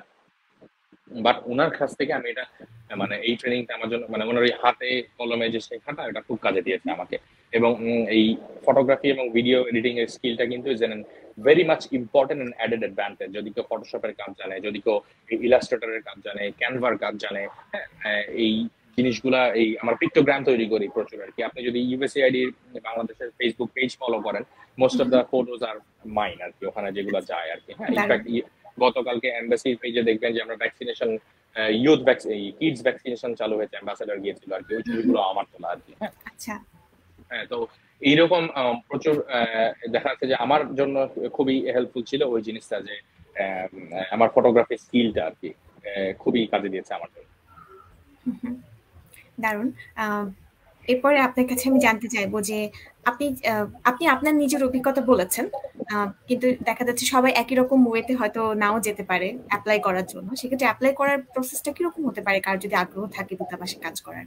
আচ্ছা আমি বলব যে ক্ষেত্রে সেটা প্রথম কথা হলো যে কোনো দূতাবাস বলেন বা বড় এনজিও ইন্টারন্যাশনাল অর্গানাইজেশন বলেন বা ধরেন ইউএন বলেন বা সেভ দ্য চিলড্রেন এমএসআই তারপরে হলো কেমনেক্স প্যাথফাইন্ডার আমি যেগুলো বলছি এই নামগুলো এগুলো হলো গিয়ে ইন্টারন্যাশনাল এনজিও আর কি হ্যাঁ অক্সফ্যাম ওয়ার্ল্ড ভিশন এরা কিন্তু আপনার প্রেশার রিক্রুট করে না। একদম যদি জিরো এক্সপিরিয়েন্স থাকে they don't call you for interview neither interview nor exam আর কি আমার কাছে যখন আমার জুনিয়ররা বা আমার ছোট ভাই বোনরা জানতে চায় যে না ভাইয়া কীভাবে আমরা প্রিপারেশন বা কীভাবে চাকরি করব? আমি বলি তাদের যে ফার্স্ট স্টেপ হলো গিয়ে আগে একটা লোকাল মানে যদি টার্গেটটা থাকে আমি একটা বড় ডেভেলপমেন্ট অর্গানাইজেশনে চাকরি করব বা আমার প্যাথটা এদিকে হবে in that case you should first start with small steps হ্যাঁ? যেটা হলো গিয়ে লোকাল অর্গানাইজেশন একটা চাকরি। সেটা রাজশাহীতেও হতে পারে সেটা ঢাকা হতে পারে মানে আমি বলছি লোকাল বলতে আমি বলছি কি যে মানে দেশীয় এনজিও যেগুলো আছে বা এই টাইপের যে অর্গানাইজেশনগুলো আছে এখানে চাকরি করা। যদি এটার মধ্যে ইন্টারন্যাশনাল হয়েই যায় ফার্স্ট শটে তাহলে তো খুব ভালো। কিন্তু এটা হওয়ার চান্স টেন পার্সেন্ট আমি বলব আর হ্যাঁ ইউজুয়ালি ডাকে না এক্সপিরিয়েন্স ছাড়া। তাছাড়া কারও যদি কমিউনিকেশন চাকরি করতে ইচ্ছা হয় যে কোনো মার্কেটিং এর চাকরি বা যে কোনো এই টাইপের স্ট্র্যাটেজিক কমিউনিকেশন এর চাকরি আরেকটা জিনিস ইংলিশ স্টুডেন্টদের জন্য একটা আরেকটা বড় সেক্টর হলো গিয়ে বাংলাদেশের সমস্ত বড় বড় অ্যাড এজেন্সি গুলা। আপনারা জানেন কিনা রাজশাহী ইউনিভার্সিটি ইংলিশের দুইজন বড় ভাই আমাদের একজনের নাম হলো গিয়ে তাসলিম খান রানা আর একজন হলো গিয়ে তানভীর ইসলাম। এই তানভীর ভাই রানা ভাইরা আমরা যখন ছয়ে ঢুকি ওনারা তখন মাস্টার্স দেয় ছয় আর কি। তানভীর ভাই হলো গিয়ে ক্রিয়েট এফসিবি বিটপির নাম শুনেছেন কিনা আমি জানি না আপনারা। বিটপি হলো গিয়ে লিও বার্নেট হলো গিয়ে ওয়ার্ল্ডের one of the leading ad agency Leo বার্নেটের সাথে এরা they they work together in Bangladesh আর কি। এই বিটপি হলো গিয়ে নিতুন কুন্ডের নিতুন কুন্ডের নাম তো শুনেছেন আর কি অটোবি হুম হুম। ওদের একটা সিস্টার কনসার্ন এটা অ্যাড এজেন্সি আর কি বিটপি তো বিটপিতে বিটপির ক্রিয়েটিভ ডিরেক্টর হলো গিয়ে আমাদের রানা ভাই যে রাজশাহী ইউনিভার্সিটি ইংলিশে তানভীর ভাই রাজশাহী ইউনিভার্সিটি ইংলিশে উনি এখন আছেন হলো গিয়ে আই বিলিভ উনি হলো গিয়ে chief operating officer one of the একটা এজেন্সি আমি নামটা এক্স্যাক্টলি ভুলে গেছি সরি কিন্তু আমি বলছি যে, আমার আরও ফ্রেন্ডসরা আছে, পরিচিত, যারা ইংলিশ থেকে পাস করেছে, অন্যান্য ইউনিভার্সিটি বড় বড় যায় গ্রেতে আছে। গ্রেতে আমার ইংলিশের আমার আমার খুলনা ইউনিভার্সিটির জেলা স্কুলের ফ্রেন্ড ইংলিশের অনি জুবাইর হোসেন অনি। ও এখন ক্রিয়েটিভ ডিরেক্টর গ্রে গ্রে নাম তো নিশ্চয়ই শুনেছেন ওই যে স্বপ্ন যাবে বাড়ি যাদের প্রোডাকশন গ্রামীণ ফোনের মানে ad one of the biggest ad agency of Bangladesh আর কি। তো ওখানে আর আমার আরেকটা মজার বিষয় হলো গিয়ে যে আমার কমিউনিকেটর হিসেবে আমাদের প্রচুর ক্যাম্পেইনে কাজ করি আমরা আর কি হ্যাঁ? এই মেসেজিং ক্যাম্পেইন ওটার জন্য আমাদের অনেক অ্যাড এজেন্সির সাথে কাজ করতে হয় আর কি। এশিয়াটিক থ্রি সিক্সটির কপিরাইট এডিটর ডিরেক্টর যে সেও জাহাঙ্গীরনগরের ইংলিশের বা ঢাকা ইউনিভার্সিটি ইংলিশে আমি ভুলে গেছি। তো এই অ্যাড এজেন্সি গুলাতে কপিরাইটার ক্রিয়েটিভ ডিরেক্টর বা এই টাইপের সেক্টর গুলাতে প্রচুর পরিমাণে এই ইংলিশের লোকজন আছে আর কি আমি জানি।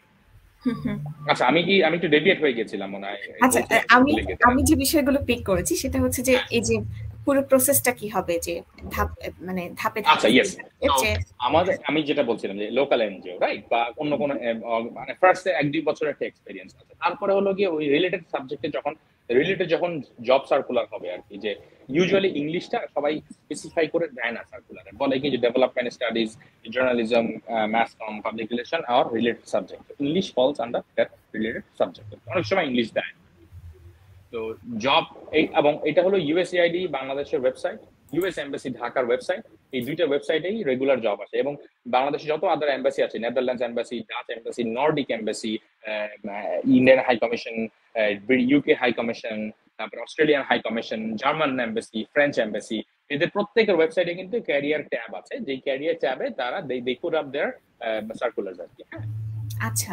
ওখান থেকে ফর্ম ডাউনলোড করে অ্যাপ্লাই করতে হয় ইলেকট্রনিক্যালি অ্যাপ্লাই করার পরের স্টেপটা হচ্ছে they call for you call you for a proficiency test which is an English test English টেস্টে আসে কি আইএলস এ যে ধরনের এক্সাম হয় বাট আ সিম্পলি মানে ফাইন ভার্সন অফ আইএলস মানে আইএলস এর মতো অতটা রিগোরাস টেস্ট হয় না। আচ্ছা সিম্পল হয় এবং এটার জন্য regular grammar grammar questions communicative ইংলিশের questions passage communication these are the things that they ask আর কি।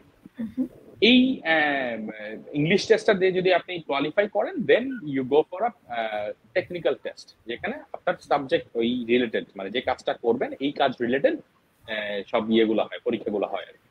ওইটার পরে হলো তখন ইন্টারভিউ ইন্টারভিউতে জিজ্ঞেস করে খুব মানে একদম ধরা বাঁধা সবাই সবাই যা জিজ্ঞেস করে তাই আর কি যে আপনি কেন এখানে এসেছেন? Why do you think that you are the best person for this position and why would you why would you select you things like that যে তোমার স্কিল কি কি just to see the potential of the candidate এবং তারপরে আমাদের এম্বাসির ক্ষেত্রে এবং আদার এম্বাসির ক্ষেত্রে হয় তবে আমাদের এম্বাসি যেহেতু সবচেয়ে বিগেস্ট এই জন্য একটু রিগোরাস প্রসেস আপনাকে তারপরে একটা সিকিউরিটি টেস্ট পাস করতে হয় আর কি সিকিউরিটি ইন্টারভিউ হয় আর কি security clearance so it takes up eight to nine months from the day of application এই জন্য আমি বলে গেছিলাম যে আমি অ্যাপ্লাই করছিলাম। আচ্ছা। তো মানে আমি আমার যে জুনে অ্যাপ্লাই করছিলাম আমি ডিসেম্বরে পনেরো তারিখে জয়েন করছিলাম। তো আচ্ছা। ইট সেভেন মান্থস আর কি হ্যাঁ। টোটাল প্রসেসটা শেষ হতে লাগে আর কি। আর এমবাসিতে যেটা যে কোনো এমবাসিতে আপনি ধরেন না কেন আর কি সেটা আমেরিকান হোক ইউকে হোক ইজ আর কি ওই, এই সেম মোটামুটি মোরলেস এই ইউএন সহ মোরলেস সেম ক্যাটাগরিতে ফলো করে। ইউএন এর এক্সামগুলো একটু বেশি ফিজিক্যাল হয়, কারণ ওরা টেকনিক্যাল এক্সপার্টিসটা একটু বেশি পায় আর কি আচ্ছা দারুণ বলেছেন। তো আমি যে পয়েন্টগুলো মোটামুটি হচ্ছে বুঝতে পারলাম এখান থেকে, সেটা হচ্ছে যে পুরো প্রসেসে অ্যাপ্লাই করার জন্য যারা ইচ্ছুক, এই দূতাবাসে চাকরির জন্য তারা ছাত্র জীবন থেকেই প্রথমে টার্গেটটা ফিক্স করে নেবে, তারপরে তারা তাদের জীবনের অবশ্যই কমিউনিকেশন স্কিল বাড়াবে এবং সঙ্গে এক্সট্রা কারিকুলার অ্যাক্টিভিটিসে পার্টিসিপেট করবে। সেই সঙ্গে তারা যদি পারে কোনো লোকাল এনজিওতে অভিজ্ঞতা অর্জন করার জন্য, কারণ আপনি যেটা বলেছেন যে অভিজ্ঞতা থাকাটা আবশ্যক এ ধরনের চাকরির জন্য শুরুতে। তো আমি, আমার মনে হয় শিক্ষার্থীরা সেটা নোট করে নিয়েছে এবং অভিজ্ঞতা যদি হয় এজেন্সি রিলেটেড সেটা বেস্ট হয়। এরপর তারা ওয়েবসাইটে গিয়ে মানে রিলেটেড দূতাবাসের ওয়েবসাইটে গিয়ে তারা সার্কুলার যদি অ্যাভেলেবল থাকে, তারা সেখানে ইলেকট্রনিক্যালি অ্যাপ্লাই করতে পারবে। এবং অ্যাপ্লাইয়ের পর তারা হচ্ছে বিভিন্ন ধরনের প্রসেসের মাধ্যমে সেই চাকরির মানে পাওয়ার প্রসেসটা আর কি শুরু হবে। অনেক ধন্যবাদ। আমার মনে হয় যে শিক্ষার্থীরা বিষয়গুলো ঠিকঠাক মতো নোট করে নিয়েছে। আমি আপনাকে একটা প্রশ্ন জানতে চাই যে আপনি কমিউনিকেশন স্পেশালিস্ট হিসেবে কি ধরনের দায়িত্ব পালন করেন আপনার কাজের ক্ষেত্রগুলো কি কি? আচ্ছা আমি যদি কুইকলি বলি অ্যাজ আ কমিউনিকেশন স্পেশালিস্ট আমি আমাদের এখানে যেটা হয় যে আমাদের পোর্টফোলিওটা অনেক বড় হয়, কারণ ইউএসএআইডির আশিটা প্রজেক্ট আছে বাংলাদেশে আর কি হ্যাঁ?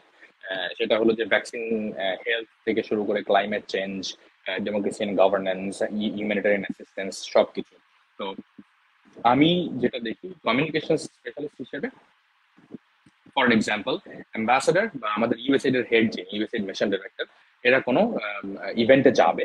So what we do is we do an event memo event মেমোর মধ্যে ওনারা কি কথা বলবেন? ইভেন্টে যে যে স্পিচটা দিবেন। উই রাইট দোজ স্পিচ আর কি। তারপর এটা আস্তে আস্তে রিভিউ হয় ক্লিয়ারেন্স হয় আর কি। আমরা ড্রাফট করি ওটা আর কি। যদি কোনো প্রেস রিলিজ যায়, প্রচুর প্রেস রিলিজ যায় অ্যাম্বাসি থেকে, আমরা ওটাকে ড্রাফট করি প্রেস রিলিজটা আর কি। ফটোগ্রাফি তো আছে। অ্যাম্বাসেডার যখন কোনো ফিল্ড ট্রিপে যায়, আমরা যাই সাথে অ্যাম্বাসেডারের সাথে as a their communication advisor mission director গেলে আমরা মিশন ডিরেক্টর সাথে অবশ্যই যাব as communication specialist to to do her three sixty degree public relation PR আমি ক্যাম্পেইন ম্যানেজ করি, যেরকম ইউএসএর টক শো দেখবেন, আছে চ্যানেল টোয়েন্টি ফোরে হয়। আমরা ইউথ আউটরিচ করি, আমাদের আমরা ইউ ল্যাবের কমিউনিকেশন স্টুডেন্ট এবং জার্নালিজম স্টুডেন্ট আইউবির জার্নালিজম স্টুডেন্টকে নিয়ে আমরা আমাদের প্রজেক্টগুলো ভিজিট করি। ওখানে আমরা দেখাই কীভাবে ইউএসএ বাংলাদেশের মানুষের জীবন মান পরিবর্তন করছে, আসলে ডেভেলপমেন্টটা কীভাবে হচ্ছে। এইগুলা। আমাদের যে সোশ্যাল ভেরিফাইড পেজ আছে ইউএস এইডের দেখবেন ওয়ান মিলিয়ন ফলোয়ার আছে। ওই পেজ আমরা দুইজন, আমাদের টিম মেম্বাররা তিনজন আছে। আমরা we we manage that page আর কি। এটা হলো আমাদের এক্সটার্নাল কমিউনিকেশন ইন্টারনাল বলতে ওয়াশিংটনে আমরা রিপোর্ট করি, প্রচুর পরিমাণে রিপোর্টিং হয় আর কি সাকসেস স্টোরিজ থেকে শুরু করে সবকিছু ইন্টারনাল রিপোর্টিং হয়। সো মানে একটা টিপিক্যাল কমিউনিকেশন বলতে যা বোঝায় ফটোগ্রাফি ভিডিও এডিটিং থেকে শুরু করে পিক্টোগ্রাম তৈরি। পিক্টোগ্রাম বলতে হলো গিয়ে আমরা দেখবেন বিভিন্ন সময় যে বাংলা ভাষায় বলে মিম যেটা আর কি কিন্তু মানে মিম তো ইজ ফর সার্কাজম পিক্টোগ্রাম হলো গিয়ে লেটস একটা ছবি ওটার সাথে ডাটা থাকে যে USAID donated seventy five million vaccines as of today to Bangladesh government আর কি হ্যাঁ এই টাইপের একটা ছোট্ট ভাইটা। সো এই টাইপের জিনিসগুলো আমরা উই উই ডু তো এরকম প্রচুর কাজ আমরা করে থাকি অ্যাজ আ কমিউনিটি স্পেশালিস্ট অনেক ধন্যবাদ জুষ্টি আপনাকে। এ পর্যায়ে আমি একটু প্রফেসর ডক্টর মোহাম্মদ আশিক মুসাদ্দেক স্যারকে একটু ডেকে নিব। ওনার যেহেতু সময় স্বল্পতা, উনি আমাদেরকে আমাদের সঙ্গে আর থাকতে পারছেন না। স্যার, আপনি যদি আপনার বিদায় বক্তব্য বলেন। হ্যাঁ ধন্যবাদ আমাকে সুযোগ দেওয়ার জন্য। আমি এতক্ষণ রুশদির আলোচনা শুনছিলাম। নিঃসন্দেহে খুব ইনফরমেটিভ এবং আমাদের তার অভিজ্ঞতা তিনি আমাদের শেয়ার করছিলেন। আমি বিশ্বাস করি যে আজকে যারা অনুষ্ঠানে যুক্ত আছেন, বিশেষ করে বরন্দ বিশ্ববিদ্যালয়ের ছাত্রছাত্রী যারা আছেন, তাদের এটি অত্যন্ত হেল্পফুল একটি আলোচনা ছিল যে তাদের প্রস্তুতি, বিশেষ করে ইংরেজি বিভাগের ছাত্রছাত্রীরা কীভাবে কমিউনিকেশন স্কিলকে ডেভেলপ করবে এবং ভালো একটি জব সেটা এনজিও হোক, সেটা এম্বাসি হোক বা সেটা কোনো অন্য কোনো সরকারি জবই হোক বা কর্পোরেট জবই হোক, সেক্ষেত্রে সে, সেটাকে কাজে লাগাতে পারবে। এবং রুশদি অত্যন্ত ধন্যবাদ জানাচ্ছি আবারও যে সে এত রাতেও আমাদের সময় দিয়েছেন এবং তিনি তার অভিজ্ঞতা শেয়ার করতে গিয়ে কতগুলো পয়েন্ট খুব চমৎকার ভাবে আলোচনা করেছেন। আমি যেটা বলতে চাই যে তার সেই পয়েন্টগুলো অত্যন্ত সঠিক এবং সেই পয়েন্টের আলোকে আসলে আমি একটি ছাত্রছাত্রী জানাতে চাই যে তিনি আসলে এক্সট্রা কারিকুলাম অ্যাক্টিভিটি কমিউনিকেশনের স্কিল ডেভেলপমেন্টের সুযোগ সেটিকে বাড়ানোর জন্য তিনি বলেছেন এবং বিশেষ করে ডিজিটাল টেকনোলজি বা কম্পিউটার স্কিল এটা নিজেকে দক্ষ করে তুলবার জন্য সেই কথা তিনি বলেছেন। এবং আমরা বরন্দ বিশ্ববিদ্যালয়ে কিন্তু এই কাজটি আমরা করছি। আমাদের আপনারা জানেন যে ষোলোটি ক্লাব আছে। প্রত্যেকটি ডিপার্টমেন্টেরই কিন্তু ক্লাব আছে। ইংলিশ ডিপার্টমেন্টের ক্লাবও আছে। ইংলিশ পড়া মানে যে শুধু সাহিত্য পড়া তা কিন্তু নয়, বা শুধু ল্যাঙ্গুয়েজটা জানা সেটা কিন্তু নয়। এখানে কমিউনিকেশনটা একটা বড় পার্ট সেটা আমরা রশিদির কাছ থেকে শুনলাম। এবং এটা আসলে নেটওয়ার্কিংটা যত আমরা বাড়াতে পারব, তত আমাদের চাকরির ক্ষেত্র নতুনের সাথে পরিচয় হওয়ার সূত্রটা কিন্তু তৈরি হয়ে যাবে। এবং আমরা আরেকটি জিনিস বলতে চাই এখানে যে আমাদের বন্ধ বিশ্ববিদ্যালয় কিন্তু খুব স্ট্রং একটা মিডিয়া সেক্টর আছে যেটাকে আমরা বলি পাবলিক রিলেশনস তো রুশদি যেমন করে বলছিল যে প্রেস রিলিজ কীভাবে লিখতে হয়, কীভাবে একটা কমিউনিকেশনের ফলো আপ স্টেপগুলো করতে হয় বা একটা সফরের ক্ষেত্রে তারা যেভাবে একটা ইমোজি তৈরি করে যেটা আমরা এখন দেখতে পাচ্ছি। ধরা যাক যে খাদ্যদ্রব্যের ঊর্ধ্ব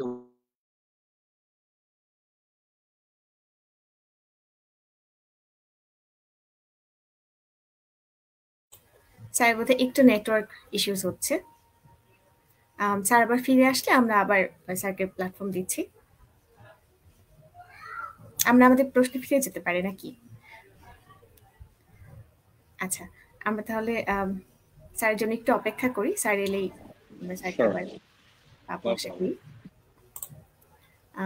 ঠিক আছে। আপনার জন্য আমার যে প্রশ্ন করছিলাম যে আপনার পুরো প্রসেসটা সেটা আমি একটু সামারাইজ করেছি। এরপরে আপনার কাছে আরেকটা জরুরি প্রশ্ন আছে যেটা শিক্ষার্থীদের খুব আগ্রহ থাকে এই বিষয়ে বিশেষ করে যে দূতাবাস তো অনেক এক্সচেঞ্জ প্রোগ্রাম অফার করে থাকে। আপনি এই বিষয়ে আমাদেরকে যদি বলতেন যে কি ধরনের এক্সচেঞ্জ প্রোগ্রাম বা স্কলারশিপ অ্যাভেলেবল থাকে যেগুলো আমাদের ইংরেজি বিভাগে হ্যাঁ, আমাদের আমেরিকান এমবাসির যেটা যেটা হলো যে বড় এমবাসি হওয়ার কারণে এক্সচেঞ্জ প্রোগ্রাম অনেকগুলো আছে। আমি যেহেতু ইউএসএ আইডি কমিউনিকেশন আমাদের একটা সেকশন আছে ডেডিকেটেড যারা এই এক্সচেঞ্জ প্রোগ্রামগুলো দেখে। হ্যাঁ এক্সচেঞ্জ প্রোগ্রামস এর জন্য একটা সেকশন আছে কালচারাল সেকশন এবং এডুকেশন সেকশন আছে পাবলিক অ্যাফেয়ার্স আর কি হ্যাঁ। আপনার যদি এম্বাসির ওয়েবসাইটে যান ওখানে দেখবেন এডুকেশন ইউএস এর একটা সেকশন আছে ওয়েবসাইটে আমেরিকান এম্বাসির ওয়েবসাইটে আপনারা যদি American এম্বাসির US embassy in Dhaka Facebook page follow করেন রেগুলার আপডেটস হয়। হ্যাঁ কল ফর নমিনেশন আছে কল ফর অ্যাপ্লিকেশন আছে আর কি। আমরা ফুল ব্রাইট স্কলারশিপ থেকে শুরু করে ইউথ স্কলারশিপ আছে এক্সচেঞ্জ ফেলোস প্রোগ্রাম আছে আর কি, অনেক ধরনের প্রোগ্রাম আছে আর কি। সবচেয়ে বেটার হলো গিয়ে আমাদের এম্বাসি ওয়েবসাইটে যে এই তথ্যগুলো নেওয়া ফেসবুক থেকে নেওয়া এবং এম্বাসির ওয়েবসাইটে যে আপনাদের এডুকেশন ইউএস এর কন্ট্যাক্ট আছে আপনারা যদি কেউ কখনো ঢাকায় আসেন আমাদের public affair section is open for all you can visit the library we have Archer K Blood library হ্যাঁ আমাদের এম্বাসি পাবলিক অ্যাফেয়ার সেকশন যেখানে। আমাদের হচ্ছে স্যার ব্যাক করেছেন স্যারকে আমরা হ্যাঁ নো প্রবলেম নো প্রবলেম ঠিক আছে থ্যাংক ইউ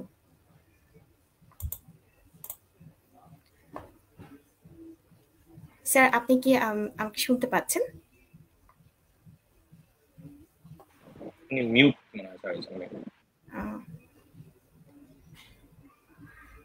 স্যার আপনি কি আমাকে শুনতে পাচ্ছেন? আপনি কি আচ্ছা স্যার হয়তো অ্যাভেলেবল হলে উনি আবার হয়তো আমাদেরকে লিখবেন। ঠিক আছে আমরা আমরা তাহলে কন্টিনিউ করতে পারি নাকি? আচ্ছা তো যেটা বলছিলাম যে ওই সেকশনে গেলে গেলে এডুকেশন ইউএসএ যে সেকশনটা আছে, ওখানে একজন এডুকেশন ইউএসএ অ্যাডভাইজার আছে।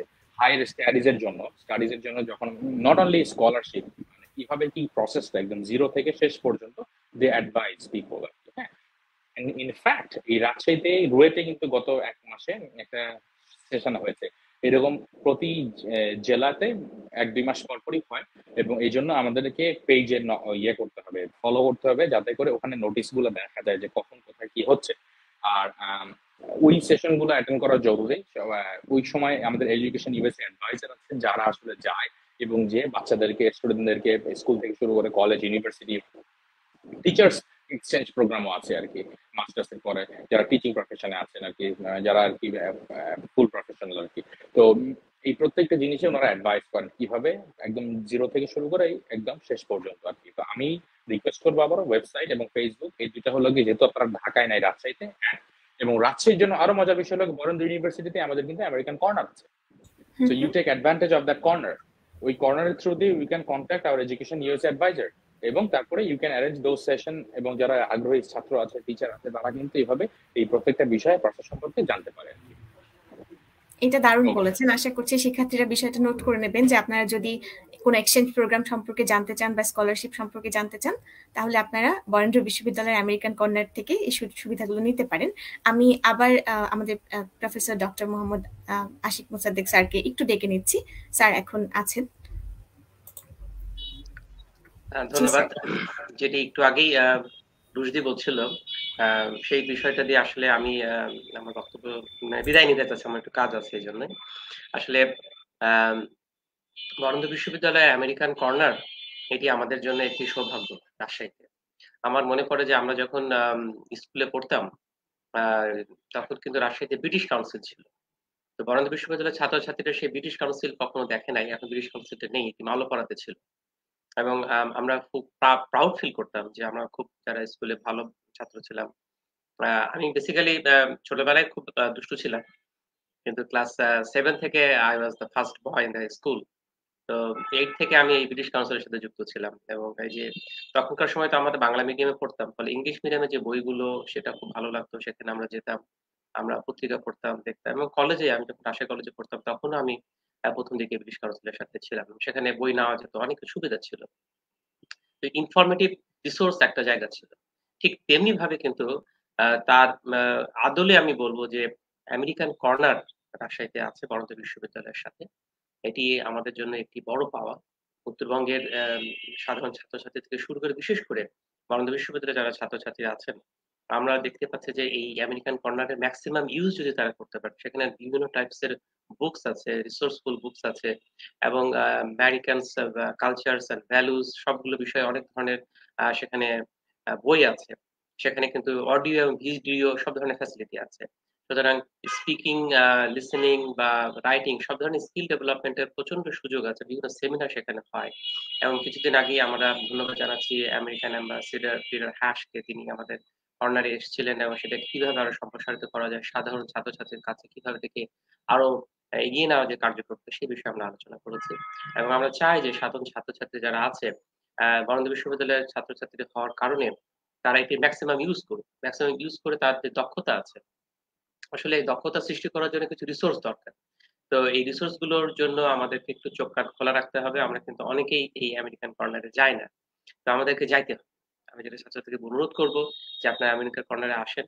আপনারা মেম্বার হন অত্যন্ত কম ভাবে মেম্বার হতে পারবেন। বিভিন্ন ধরনের প্রোগ্রাম আপনি অ্যাটেন্ড করতে পারবেন। শুধু ইউএস এইড কেন আমরা আদার্স যে আমেরিকান যে ফ্যাসিলিটি গুলো আছে এবং ভাষার যে দক্ষতা, বিশেষ করে ইংরেজি ছাত্রছাত্রীর প্রতি বিশেষ অনুরোধ, আপনারা এটি শর্ত ব্যবহার করবেন। তাহলে আপনারা আপনাদের ক্যারিয়ার গঠনের ক্ষেত্রে নিজেকে এক ধাপ এগিয়ে নিতে পারবেন। আর সবসময় আত্মবিশ্বাস, একটা পজিটিভনেস নিজের মধ্যে রাখতে হবে। তাহলে আপনার ভিতরের মধ্যে যে আগুন আছে, যে আপনি কাজ করতে চান কাজের কিন্তু অভাব নেই। কিন্তু কাজ করার মানসিকতার অভাব সুতরাং সেই অভাব থেকে আমাদের বেরিয়ে আসতে হবে। এবং আমি আসলে যেটা বলতে চাচ্ছি প্রথম থেকে সেটি হচ্ছে নিজেকে তৈরি করা এবং তাহলেই দক্ষতার সাথে যদি তৈরি করতে পারে তাহলে চাকরি বা যেটাই আমি বলি না কেন ক্যারিয়ার সেটা আপনাকে অবশ্যই আপনার কাছে এসে ধরা দেবে। ধন্যবাদ, আমি সকলের কাছ থেকে বিদায় নিচ্ছি। এতক্ষণ আমাকে সুযোগ দেওয়ার স্যারের কাছে আমাদের কৃতজ্ঞতা শেষ নেই। অত্যন্ত সুন্দর করে স্যার বলেছেন এবং সেই সঙ্গে কীভাবে আমরা আমাদের শিক্ষার্থীরা নিজেদেরকে তৈরি করতে পারে। স্যার, এই কথা সূত্র ধরেই, আমি আপনাকে, আপনার কাছে আবার জানতে চাই যে যেই প্রশ্নে আমরা ছিলাম, যেটার, যে প্রশ্নটা আমরা শেষ করতে পারিনি, সেটাতে ফিরে আসছি। তবে তার সঙ্গে আমি বলতে চাই যে এই যে এক্সচেঞ্জ প্রোগ্রাম নিয়ে কথা বলছিলাম আমরা, এই এক্সচেঞ্জ প্রোগ্রামগুলোর জন্য শিক্ষার্থীরা নিজেকে কীভাবে প্রিপেয়ার করবে এবং কখন থেকে প্রিপেয়ার করবে? আমার মনে হয় ডিপেন্ডস অন কি টাইপের এক্সচেঞ্জ প্রোগ্রামে যাচ্ছে আর কি। এটা প্রত্যেকের নিজস্ব একটা প্ল্যান থাকা উচিত। ফর এক্সাম্পল যে, আর আরেকটা জিনিস আমি এমফাসাইজ দিব, সেটা হলো যে বাইরে যদি আপনি অবশ্যই যাবেন, আপনি তো বিদেশে পড়ছেন মাস্টার্স না করে বাইরে যাওয়াটা ইংলিশ স্টুডেন্টের জন্য একটু বোকামি। বোকামি আমি ঠিক বলব না, আমি বলব যে, না যাওয়াটা better in terms of scholarship in terms of opportunities in terms of in fact settling in abroad Bangladesh থেকে অনেকে গেলে তার মানে ফিরতেও চায় না। এটা আর একটা ব্যাপার আর কি। তো সবকিছু মিলে আমার মনে হয় যে একটা মাস্টার্স মানে আমার অনেকে আছে না, অনেকের নোশন থাকে যে অনার্স করে চলে যাব। অনার্স করে যদি মাস্টার্স হ্যাঁ যদি ভালো ইউনিভার্সিটিতে এক্সচেঞ্জ প্রোগ্রামে হয়ে যায় দ্যাটস ফাইন যদি না হয়, আমার মনে হয় যে মাস্টার্সটা করে যাওয়াটা better that gives you gives you an extra mileage আর যদি মাস্টার্স প্রোগ্রামের জন্য কেউ যদি যেতে চায়, আমি আগে বললাম যে এই যে থার্ড ইয়ার ফোর্থ ইয়ার থেকে না নলেজগুলো গ্যাদার করা উচিত। ওই যখন এটা তখন করার থেকে আগে করাটা বেটার আর কি আর মাস্টার্স এর আগে আসলে এক্সচেঞ্জ প্রোগ্রামে যাওয়া যেগুলো, ওগুলো আসলে আমি বলব যে কিছু প্রোগ্রামস আছে যেরকম ইউথদের জন্য। আমি শিওর না, আমি এই বলছি, আমি এক্সপার্ট না ওই সেকশনের আর কি হ্যাঁ? আমি এক্স্যাক্টলি বলতে পারব না যে, কোন ইয়ারে কোন প্রোগ্রামটার জন্য স্পেসিফিক বাট আমি যেটা জানি যে ফুল ব্রাইট বলি আমরা, বা কেউ যদি উচ্চশিক্ষার জন্য যায়, সেটা পেইড মাস্টার্স হোক বা স্কলারশিপ মাস্টার্স হোক জিআরই তো দিতেই হবে আমেরিকার জন্য আর কি। যদি স্কলারশিপ আপনি চান, একটা ভালো স্কোর লাগবে আর কি আইএলস এর পাশাপাশি। আইএলস তো দিতেই হবে জিআরইও লাগবে আর কি। তো এই বা অনেক ইউনিভার্সিটি আছে জিআরই ছাড়াও কিন্তু অ্যাকসেপ্ট করে পেপার্স আর কি। এই কারণে আমি বলছি যে, আমাদের একজন অ্যাডভাইজার সে আসলে ভালো বলতে পারবে যে, কীভাবে কোন প্রসেসে আগালে কোনটার জন্য কি প্রোগ্রামটা বেটার হয় আর কি। তো আমি আবার বলব যে আপনারা আমেরিকান কর্নারের সুযোগটা নেবেন, যেহেতু আছে আপনাদের ইউনিভার্সিটিতে আপনারা জানার চেষ্টা করুন যে কীভাবে এক্সচেঞ্জ প্রোগ্রামগুলো কাজ করে। আপনি যে ল্যাঙ্গুয়েজ ল্যাঙ্গুয়েজ প্রফেশিয়েন্সির কথা বললেন, সেক্ষেত্রে আমরা, আমাদের কাছে আইএলসটা মোটামুটি একটা কমন সবারই একটা ধারণা আছে। জিআরই সম্পর্কে অনেকের ধারণা আছে। কি ধরনের স্কোর বা কতটা স্কোর হলে আশা করা যায় যে শিক্ষার্থীরা সেখানে অ্যাপ্লাই করতে পারবে বা এরকম? আমার মনে হয় এটা একটা রিলেটিভ কোশ্চেন হ্যাঁ?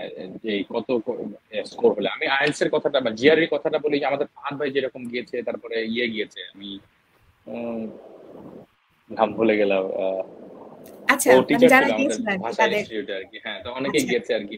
আমি যতদূর জানি যে একটা সময় ছিল যখন কিন্তু সুমন স্যারের কথা বলছেন? সুমন না ওই যে? সিমন সিমন হ্যাঁ স্যার হ্যাঁ হ্যাঁ। তো এনিওয়েজ তো দেখা যায় যে- ফাহাদ ভাই যেরকম টু নাইনটি নাইন বা থ্রি টুয়েলভ এরকম কোনো একটা স্কোর ছিল আর কি জিআরিতে আর কি আর আইএলস এর কথা তো আমি বলব যে নট আন্ডার আন্ডার সেভেন আর কি হ্যাঁ ইটস অ্যাবসলিউটলি নট আর কি ওভারঅল এবং ব্যান্ড যদি সেভেন হয় ইচ ব্যান্ড সেভেন তো বেটার আর কি হ্যাঁ। অনেকে তো রাইটিং একটু দেখা যায় সিক্স পয়েন্ট ফাইভ চলে আসে বাকি। তো আমার মনে হয় যে ইয়ে বেটার হলো গিয়ে as high as possible score secure করা আর কি। Again I am not an expert of GRE or IELTS এবং আমি আসলে খোঁজও রাখিনি যে এখন ট্রেন্ডি স্কোর কত আর কি। তো আমি. প্রিসাইজলি বলব না don't take me take my word for granted so but don't help me liable uh, আমি বলব যে অ্যাজ হাই অ্যাজ পসিবল আর কি। দ্যাটস আর স্কলারশিপের জন্য তো আমরা সবাই জানি যে যত বেশি স্কোর হবে তত বেটার আর কি। স্পেশালি আমেরিকার জন্য আর কি। হ্যাঁ ভালোর কোনো শেষ নেই আর কি। যত ভালো হবে তত ভা- এই জন্য বলা সম্ভাবনা- যায় রিলেটিভ কোশ্চেন আর কি আপেক্ষিক ব্যাপারটা আর কি ভালোটা কত কোন জায়গাটাতে আর কি। জি জি। আচ্ছা তাহলে এই যে এই এক্সচেঞ্জ প্রোগ্রামগুলো যেগুলো থাকে এখানে এখানে ইংরেজি বিভাগে শিক্ষার্থীদের সুযোগ কতটা বেশি থাকে? রিলেটিভলি আপনি যদি একটু বলেন আপনার অভিজ্ঞতা থেকে। আমি কম্পেয়ার করব না সুযোগ বেশি খারাপ কারণ আমরা জানি ইঞ্জিনিয়ারিং এর সুযোগ সবচেয়ে বেশি আর কি। টেকনিক্যাল। সাবজেক্টের সুযোগের আসলে কোনো শেষ নাই এবং আমি মাঝে মাঝে চিন্তা করি আমার আমার মেয়ের বয়স হলো ছয় বছর। তো আমি তো ওকে বলি যে মানে যদিও I am not in I am not like that যে আমি ওকে চাপাই দিব কি পড়তে হবে না পড়তে হবে বাট আমার মনে হয় যে এমন এখন এমন একটা জামানা চলে এসছে যে if you don't have a technical skill একটা স্কিল আপনাকে টেকনিক্যাল থাকতেই হবে। ফর এক্সাম্পল আপনি আমার কথা চিন্তা করেন আমি প্লেন গ্রাজুয়েট ইংলিশের আর কি আমার মাস্টার্স করা ইংলিশ ল্যাঙ্গুয়েজ টিচিং এ আমার টেকনিক্যাল স্কিল কি ছিল? আমার কিন্তু যে ফটোগ্রাফি স্কিলটা was consider as one of the technical skills of mind right so এই টাইপের মানে এখন মানে যে যে সুযোগ আমি কম্পেয়ার করব না বাট ইংলিশ স্টুডেন্টদের সুযোগ ডেফিনেটলি আছে অনেক সুযোগ আছে বাট যেটা বললাম যে ডোন্ট মানে ডোন্ট গেট ফ্রাস্ট্রেটেড যে যখন একজন ইঞ্জিনিয়ারিং স্টুডেন্ট বা মেডিকেল স্টুডেন্ট বা বা টেকনিক্যাল সাবজেক্ট ফার্মাসি বা হোয়াট এভার ইট ইজ আর কি হ্যাঁ? এরা যখন মানে when they are going for masters or things it's sometimes easier for them because তাদের ওই ইউনিভার্সিটির সংখ্যাটা বেশি থাকে অফারগুলা বেশি থাকে হরাইজনটা বেশি থাকে বড় থাকে। বাট তার মানে এই না যে you have to be frustrated বা তার মানে এই না যে আমাদের চিন্তা করতে পারব ইংলিশে পড়েছি তার কোনো সুযোগ নেই। না রং কনসেপ্ট অবশ্যই ইংলিশ সুযোগ আছে। আমরা তো আমাদের সামনে জ্বলন্ত উদাহরণ কয়েকটা দেখতেই পাচ্ছি আর কি। সহকারে। উম, there are those opportunities uh, and you should grab that opportunities don't wait for that opportunity. So you have to create one right? That's what people say. So yes um, অবশ্যই অনেক সুযোগ আছে। হাজার হাজার ইউনিভার্সিটি আছে ইউরোপে বলেন। এখন তো পর্তুগালেও যাচ্ছে লোকজন পড়তে আমি জানি না কেন যাচ্ছে but I have seen one of like many of my friend list people like ফেসবুকে যাইতেছে আর কি। সো দেয়ার আর ইংলিশে পড়তে ইনফ্যাক্ট জার্মানে যাচ্ছে ইংলিশে মাস্টার্স করতে আর কি রাইট হুম হুম। তো অনেক সুযোগ আছে। না যে সুযোগ নাই। আহ, আমাদের আমার মনে হয় আপনি আমাদের এই শিক্ষার্থীর প্রশ্নটার উত্তর অলরেডি করে দিয়েছেন যে কম্পিউটার লিটারেসি সো এটাও একটা টেকনিক্যাল স্কিল হিসেবে আমার মনে হয় যে এটাকে কনসিডার করা যায়। সো ডেফিনেটলি এবং এক্সেল এক্সেল বা স্প্রেডশিট এটার এক্সপিরিয়েন্সটাও বেশ ভালো কাজে দেয় আর কি হ্যাঁ? In addition to other skills আর কি। আচ্ছা এটা এটা একটা গুরুত্বপূর্ণ তথ্য আর কি শিক্ষার্থীদের জন্য যে আপনারা কম্পিউটার লিটারেসি বলতে শুধুই মাইক্রোসফট ওয়ার্ড বা পাওয়ার পয়েন্ট না, আপনারা এক্সেলটাও একটু প্র্যাকটিস করবেন। সেটা আপনাদের জন্য, আপনাদের সম্ভাবনাটা আরেকটু বাড়িয়ে দেবে। সেক্ষেত্রে তারা কি মাস্টার্স শেষ করার পর প্রিপারেশন নেবে নাকি আগের থেকেই পড়াশোনা চলাকালীন সময় থেকেই প্রিপারেশন নেবে কি করবে? কিসের প্রিপারেশনটা স্কলারশিপ বা এক্সচেঞ্জ প্রোগ্রামে অ্যাপ্লাই করার জন্য। না ওই যে আমি বললাম যে ইনফ্যাক্ট আমি তো আমার ছোট ভাই আমার ছোট ভাই ঢাকা ইউনিভার্সিটি স্টুডেন্ট অনেক ছোট আমার থেকে বাট ওকে আমি বললি যে ও যদি ও বিসিএস নেই অথবা ওর স্কলারশিপের জন্য ট্রাই করুক মাস্টার্সে যেটাই করুক না কেন ওকে থার্ড ইয়ার থেকে শুরু করতে হবে এই প্রিপারেশনগুলো আমি একটা রিসার্চ প্রপোজালটা কীভাবে লিখব বা আমার ওই যে স্টেটমেন্ট অফ পারপাসটা কীভাবে সাজাবো? অ্যাটলিস্ট প্রিপারেশন বলতে কি আদার্স লোকজন এটা দেখাতে ঠিক আছে? ওই বড় অপু গেছে ঠিক আছে? উনি ওনার এসওপিটা কীভাবে লিখছিল আর কি। আহ, আরেকজন গেছে সে তারটা কীভাবে ডিফারেন্ট ছিল আর কি রাইট কোন জিনিসটা পার্থক্য ছিল? একটা প্রফেসরকে পার্সু করার জন্য কি লাগে? যদি আমি রিসার্চ বেস মাস্টার্সে যাই রাইট যদি থিওরি বেস না হয় আর কি। সো এই জিনিসগুলা আমার মনে হয় যে খুবই ইম্পর্টেন্ট এবং আমার থার্ড ইয়ারের শেষ নাগাদ শুরু করাটা খুব জরুরি আর কি। দারুণ বলেছেন। সেক্ষেত্রে মনে হচ্ছে যে আপনার যে কর্মক্ষেত্র, সেখানে আপনি তো অলরেডি বলে দিয়েছেন যে ইংরেজি বিভাগের শিক্ষার্থীদের একটা বড় অংশ সেখানে আছে। এটা আমাদের শিক্ষার্থীদের জন্য খুবই ভালো একটা সংবাদ যে তারা এই বিষয়ে এটার জন্য চেষ্টা করতে পারে। একটা, আমরা কিছু ছাত্রছাত্রীদের প্রশ্ন কিছু নিতে পারি। তারা কমেন্টে অনেক প্রশ্ন করছে। যেমন এখানে একজন প্রশ্ন করেছেন যে when should I start preparation for US embassy job আচ্ছা সো ইউএস এমবেসি জবের জন্য সে কখন থেকে প্রিপারেশন নেওয়া শুরু করবে? আচ্ছা আমি একটা জিনিস একটু বলে নিই আর ইজ ইজ ইট হার্ড আমি আমি একটা জিনিস একটু ক্লিয়ার করতে চাই সেটা হলো যে ওই যে grass is always greener on the other side of the fence right so this is this is not the end US embassy job is not the end of the world it's not the best in the world right so এটা আপেক্ষিক একটা বিষয় আর কি। Yes there are some parts of being here এই চাকরিতে but আমি বলব যে হার্ড বা ইজি এটা এই ব্যাপারগুলো রিলেটিভ আপেক্ষিক আমি ওই কম্পারিজনে যাব না আর when it comes to asking যে when should I start preparing for this আমি বলব যে there is no uh, exact time that that time you should start preparing for the time you feel that you are you are prepared is the time for you to apply আর কি, হ্যাঁ so উম, আমি যদি precisely কোনো answer দিতে চাই তাহলে এটা হবে এরকম যে শুধু ইউএস এম্বাসি না, আমি বাবারও বলছি, অনেক হাজার হাজার এম্বাসি আছে বাংলাদেশে, হাজার হাজার ডেভেলপমেন্ট অর্গানাইজেশন আছে বাংলাদেশে, হাজার হাজার হলে শত শত আছে। তো আমার মনে হয় যে যে কোনো জায়গায় ইংলিশ স্টুডেন্টরা ল্যান্ড করতে পারে হ্যাঁ? এই কমিউনিকেশন সেক্টর হোক ডকুমেন্টেশন হোক মনিটরিং অ্যান্ড ইভ্যালুয়েশন আরেকটা জায়গা আছে ডেভেলপমেন্ট সেক্টরে যেখানে প্রজেক্ট সাকসেস মনিটর করে এবং ইভ্যালুয়েট করে এবং এটা ডকুমেন্ট করে। This is also a good sector for English students to land কিন্তু এটার জন্য in terms of preparation I would say যে আম, ওই যে ট্রেন্ডি থাকতে হবে। হ্যাঁ ট্রেন্ডি থাকার ব্যাপারটা হচ্ছে আমাকে জানতে হবে কি ঘটছে ডেভেলপমেন্ট সেক্টরে আপডেটেড যদি আপডেটেড থাকতে হবে। আমাদের অবশ্যই উচিত হবে যে আমি যদি কোনো ভলেন্টারি কাজের সাথে যুক্ত হতে পারি হ্যাঁ খুব উপকার হয় এইগুলোতে আর কি। তো these are all part of preparation আর কি হ্যাঁ প্রেপিং ইউরসেলফ আর কি। আর ইন টার্মস অফ কখন অ্যাপ্লাই করব যখন মনে চাবে তখন apply- যখন মনে হয় যে না এটা এই সার্কুলারটা আমার জন্য তখন অ্যাপ্লাই করতে হবে ব্যাপারটা এরকম। মানে এটা কোনো ডেফিনিট অ্যান্সার নেই। বাট আমি বলব যে অন দ্য লুক আউট যেটাকে বলে, যে খোঁজে রাখতে হবে যে কি হচ্ছে, না হচ্ছে এবং কখন- কখন সার্কুলার হচ্ছে বিভিন্ন এম্বাসি গুলাতে। তারপরে যদি মিলে যায়, তাহলে অ্যাপ্লাই করতে হবে। আচ্ছা একজন প্রশ্ন করেছেন সম্ভবত আপনার কাছ থেকে জানতে চাইছেন যে, দূতাবাসের চাকরিতে নিশ্চয়ই আপনার অনেক রেসপন্সিবিলিটিস এবং আচ্ছা মনে হয় আমাদের কোনো একটা টেকনিক্যাল গন্ডগোল হয়েছে, আমাদের অতিথি এই মুহূর্তে আমাদের সঙ্গে নেই। উনি আসলে আমরা আবার আপনাদের সাথে কানেক্ট করতে পারব।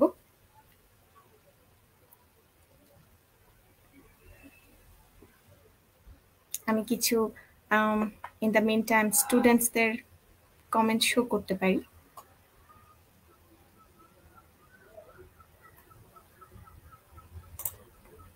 আচ্ছা আমাদের অতিথি চলে এসছেন। যেতে কোনো প্রবলেম নেই আমরা সবাই আমাদের এই টেকনিক্যাল প্রবলেমগুলো সম্পর্কে প্রিপেয়ারই থাকি যখন আমরা লাইভ প্রোগ্রাম করতে যাই বা টেকনোলজিক্যাল কোনো প্রোগ্রাম করতে যাই সো দ্যাটস অল রাইট একজন শিক্ষার্থী জানতে চেয়েছেন যে সম্ভবত আপনার ব্যাপারে যে দূতাবাসের তো অনেক রেসপন্সিবিলিটিস আপনি ওয়ার্ক লাইফ এবং সোশ্যাল লাইফ এই বিষয়গুলো ব্যালেন্স করেন কীভাবে একটু যদি বলেন। আচ্ছা আমি একটু এটা যদি এভাবে বলি যে আমাদের এই আমেরিকান এম্বাসি বা ইউএসএআইডি টু বি প্রেসাইজ আমি যদি ইউএসএআইডি চাকরি করি এই আমাদের এই বিশেষ করে দূতাবাসগুলো অল ওভার বাংলাদেশে, দূতাবাসগুলো এবং ডেভেলপমেন্ট সেক্টরে না ওয়ার্ক লাইফ ব্যালেন্সটা বলব যে এটা নিজের কাছে এবং your office actually provides the opportunity for you to maintain the balance এটা আপনার কাছে ডিপেন্ড করবে আপনি কীভাবে ওয়ার্ক লাইফ ব্যালেন্সটা করেন। যদি হ্যাঁ আমি আবারও বলছি যেরকম এমবেসি বা দূতাবাসে চাকরি করলে বা এই এই ডিপ্লোম্যাটিক মিশনগুলোতে চাকরি করলে কিছু রেস্ট্রিকশন থাকে আপনার।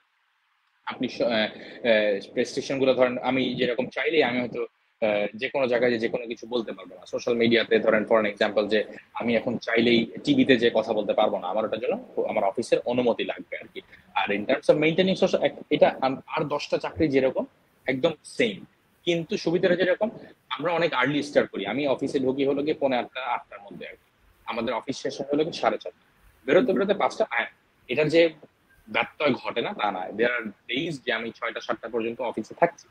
কিন্তু আমি বলব যে এমবাসিতে চাকরি করলে যে, এই এমবাসি বলছি মানে এই ডেভেলপমেন্ট সেক্টরে চাকরি করলে যেটা হয়, আপনার একটা ওয়ার্ক লাইফ ব্যালেন্স থাকে। ইটস নট লাইক ব্যাংকার্স আমরা দেখি আমার আমার ব্যাংকের বন্ধু বান্ধবগুলো সাড়ে আটটা, নয়টা, সাড়ে নয়টার সময় বাসায় ফিরে আর কি হ্যাঁ it's not that you have that work life balance R social life তো নিজের কাছে। আর আমি এতক্ষণ হয়তো অনেকেই বুঝে গেছে, আমি প্রচুর কথা বলি। আমার সোশ্যাল পার্সন আমি প্রচুর সোশ্যালাইজিং করি। এবং my work has nothing to do with my social life এবং no nobody cares cares what I'm doing on my social life so আমি প্রচুর বন্ধু ফ্রেন্ডস আই হ্যাভ এবং আমার uh, আমার বাসা আমার বন্ধুদের একটা আড্ডাখানার মতো। So I do a lot of socializing R in terms of maintaining এটা একদম আমি বললাম যে এটা আপেক্ষিক একটা প্রশ্ন। একদম নিজের কাছে যে কীভাবে আপনি তার সোশ্যাল লাইফটা মেইনটেইন করবেন আর কি। যেরকম আমি গতকালকে ফ্রেন্ডদের সাথে বেরিয়েছিলাম, আজকে বের হইনি আজকে পরিবারকে টাইম দিচ্ছি। এটা তো প্রত্যেকে নিজস্ব ব্যাপার যে কীভাবে আপনি আপনার নিজের এই সোশ্যাল লাইফ এবং ওয়ার্ক লাইফটাকে ব্যালেন্স করবেন আর কি। আর, যে বললাম যে এই উন্নয়ন যে সেক্টরটা ডেভেলপমেন্ট সেক্টর এখানে আমি বলব যে বাংলাদেশের অনেক অন্যান্য সেক্টর থেকে ওয়ার্ক লাইফ ব্যালেন্সটা একটু বেশি। কারণ দে কেয়ার অ্যাবাউট এমপ্লয়িজ আর কি।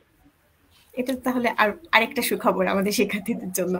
আর এটার জন্য আরেকটা ব্যাপার আছে যে এটার জন্য অর্গানাইজেশনটাও মানে ভালো অর্গানাইজেশনগুলা মানে ভালো বলতে আমি বলব যে আহ, যে প্রমিনেন্ট অর্গানাইজেশন তাদের ওয়ার্ক লাইফ যত প্রমিনেন্ট অর্গানাইজেশন তাদের ওয়ার্ক লাইফ ব্যালেন্স তত ভালো আমি বলব আর আমার আমার depends, like your your work comes with other stresses and everything. Like there are মানে আমি বলব যে আট দশটা চাকরির মতোই যে স্ট্রেস আছে ডেডলাইন আছে অ্যাংজাইটি আছে রিস্ক আছে সবকিছুই দিজ আর অল দেয়ার আর কি depends on how you handle it আমার একটা ধারণা ছিল আর কি যে এরকম দূতাবাসে চাকরি করলে যেহেতু সময়টা আমাদের বাংলাদেশের সময় এবং সেই দেশের সময় ভিন্ন ভিন্ন সেক্ষেত্রে আপনাকে অন্য সময়ে কাজ করতে হয় কিনা কখনো যেটা হয়তো বাংলাদেশের সময় অফিসিয়াল টাইম না?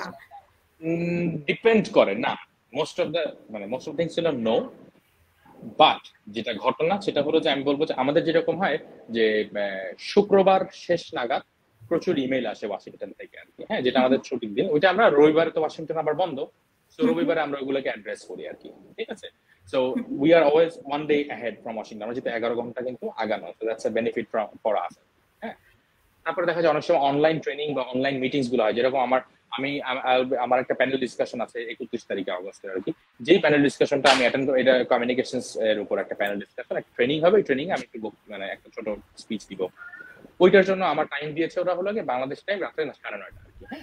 কারণ ওদের ওখানে তখন সাড়ে এগারোটা। সো এটা কি হয় ওয়ান্স ইন এ ওয়াইল মানে যেটা ধরো তিন চার পাঁচ মাসে একবার হচ্ছে আর কি। রেগুলার উম, প্র্যাকটিস না দুই তিন মাসে একবার হচ্ছে। ইটস নট রেগুলার প্র্যাকটিস আর কি। বাংলাদেশি টাইম বাংলাদেশ শুক্র শনি ছুটি। ইটস নট সানডে স্যাটারডে আমাদের ছুটি সো অল অ্যাবাউট মানে বাংলাদেশি আমাদের যেটা বাংলাদেশি লেবার ল এবং আমেরিকান লেবার ল একটা মিক্সচার কাজ করে। আচ্ছা এরপরে হচ্ছে যে একজন শিক্ষার্থী প্রশ্ন করেছিলেন যে রিসার্চ পাবলিকেশনের কোনো ভূমিকা আছে কিনা এই জব সেক্টরে বা এমবিসিতে জবের ক্ষেত্রে বা ডেভেলপমেন্ট সেক্টরে জবের ক্ষেত্রে? ডেভেলপমেন্ট সেক্টরে আছে। আমি একটু যদি বলি যে আপনি যদি অক্সফ্যামে চাকরি করেন আইসি ডিডিআরবি তে চাকরি করেন হ্যাঁ এবং কমিউনিকেশন স্টুডেন্টদের জন্য না রিসার্চ পাবলিকেশনটা একটু ক্রিটিক্যাল ক্রিটিক্যাল বলা থেকে আমি বলব যে কোন কিসের উপর রিসার্চটা করবেন কমিউনিকেশন যদি আপনি আসেন লেটতে আপনার কমিউনিকেশন টুলের উপর রিসার্চ করতে হবে বা টুলটা কীভাবে কাজ করছে ইম্প্যাক্ট অ্যাসেসমেন্টটা কীভাবে হচ্ছে আর কি হ্যাঁ? একটু টেকনিক্যাল হয়ে যাচ্ছে আমার কথাগুলো, যখন আপনারা, আমি ছাত্রদের, ছাত্রীদের বলছি, যখন আপনারা আরও বড় পর্যায়ে যাবেন, তখন বুঝবেন যে এই, ধরেন একজন একজন ইংলিশ স্টুডেন্টের জন্য রিসার্চ পেপার যেটা, ধরেন একটা রিসার্চ ম্যাথোলজির উপর বা ধরেন ফর এক্সাম্পল শেক্সপিয়ারের লাইফের উপরে বা বুটসের একটা কবিতার উপরে। It's not like that in communication আমি ব্যক্তিগতভাবে কখনো করি নাই তো আমিও তো মানে এটাতে বলব না যে আমি এক্সপার্ট অফ দ্যাট বাট আমি দেখেছি আমার বন্ধু বান্ধব পরিচিত যারা করেছে it's very different than regular for example যে একজন ডাক্তারের জন্য রিসার্চ পেপার যত ইজি হবে বা টপিকটা চুজ করে যত ইজি হবে ইজি হবে আমাদের জন্য ইটস নট দ্যাট আর কি। আপনাকে এবং এটা তো ইউনিক হতে হবে। আপনি হাজার আট দশটা লোক যে রিসার্চ করছে আপনার পেপারটা কেন অ্যাকসেপ্ট হবে মানে আপনি কি প্র্যাকটিক্যাল ইউটিলিটি নিয়ে কথা বলছেন যে এই এই আমাদের সাবজেক্ট থেকে প্র্যাকটিক্যাল ইউটিলিটি আছে এরকম রিসার্চ করা এই বিষয়টা কি? হ্যাঁ ব্যাপারটা তা না। আমি আমি বলছি কমিউনিকেশন পার্সপেক্টিভ থেকে। ইংলিশের স্টুডেন্টদের ক্ষেত্রে আমি বলছিলাম when you land in communication বা আপনি যদি ধরেন ওই কোশ্চেনটা যদি অ্যান্সার দেন যে explain detail about research publication and what exactly is process of publishing something somewhere I am not the expert of telling that. I mean, that's the answer of that question. আর কি। ঠিক আছে যে আমি পরের অংশটা আপনাকে জিজ্ঞেস করিনি আর কি। As I as I admit যে আমি রিসার্চ করি নাই আমি পাবলিশও করি না হ্যাঁ আমি আমি কন্ট্রিবিউট করেছি আমাদের একটা বই পাবলিশ হয়েছে এবং আই কন্ট্রিবিউট একটা ফটো বুক পাবলিশ হয়েছে উইথ স্টোরেজ আর কি। আমি কন্ট্রিবিউট করেছি ওখানে আর কি। আমার প্রচুর ছবি গেছে বা প্রচুর লেখা গেছে। কিন্তু when it comes to research paper আমি আসলে করি নাই সো আমি দুঃখিত যে এই উত্তরটা এক্স্যাক্টলি আমি আপনাদেরকে দিতে পারছি না।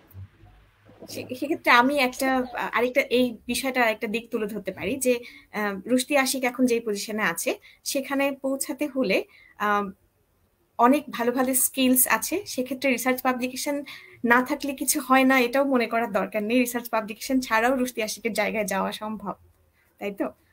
হ্যাঁ আচ্ছা আমার আরেকটা প্রশ্ন আছে এটা আমার এটাও আমার নিজের প্রশ্ন যে দূতাবাসে চাকরি করলে কি অনেক বিদেশে যাওয়ার সুযোগ হয়? এই যে আমি আমি একটু বলেছি না যে এই এম্বাসি বা দূতাবাস বা এই যে ডেভেলপমেন্ট সেক্টর চাকরি কামস উইথ সার্টেন পার্কস আর কি হ্যাঁ? যে there are perks of being আমি একেবারে ডিনাই করব না যে হয় না।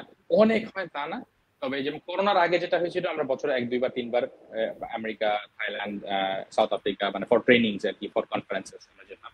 ওইটা আবার ইনশাল্লাহ শুরু হচ্ছে আল্লাহ রহমতে। আমরা হয়তো অক্টোবর থেকে আবার শুরু হবে যাওয়া এবং আমাদের ট্রেনিং হয় প্রচুর আর কি ফরেস্ট সার্ভিস ইনস্টিটিউট গুলাতে। ট্রেনিং এর জন্য বাইরে যেতে হয় মিটিংস এর জন্য বাইরে যেতে হয় কনফারেন্সের জন্য বাইরে যেতে হয়।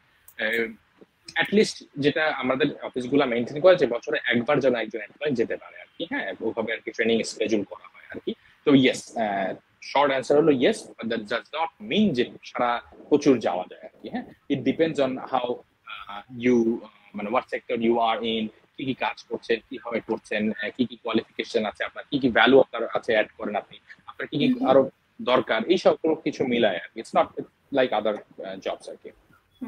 কিন্তু সুযোগ সুযোগটা মানে আছে আর কি। আচ্ছা এটাও আমার মনে হয় যে শিক্ষার্থীদের জন্য একটা ভালো বিষয় হবে যদি তারা এই সেক্টরে কাজ করতে চায়। আমি একটু quickly sorry to interrupt you একজন এমএনই নিয়ে কোশ্চেন করেছে। আমি বলব যে এমএনই এর জন্য কোর্স করা থাকলে খুবই ভালো।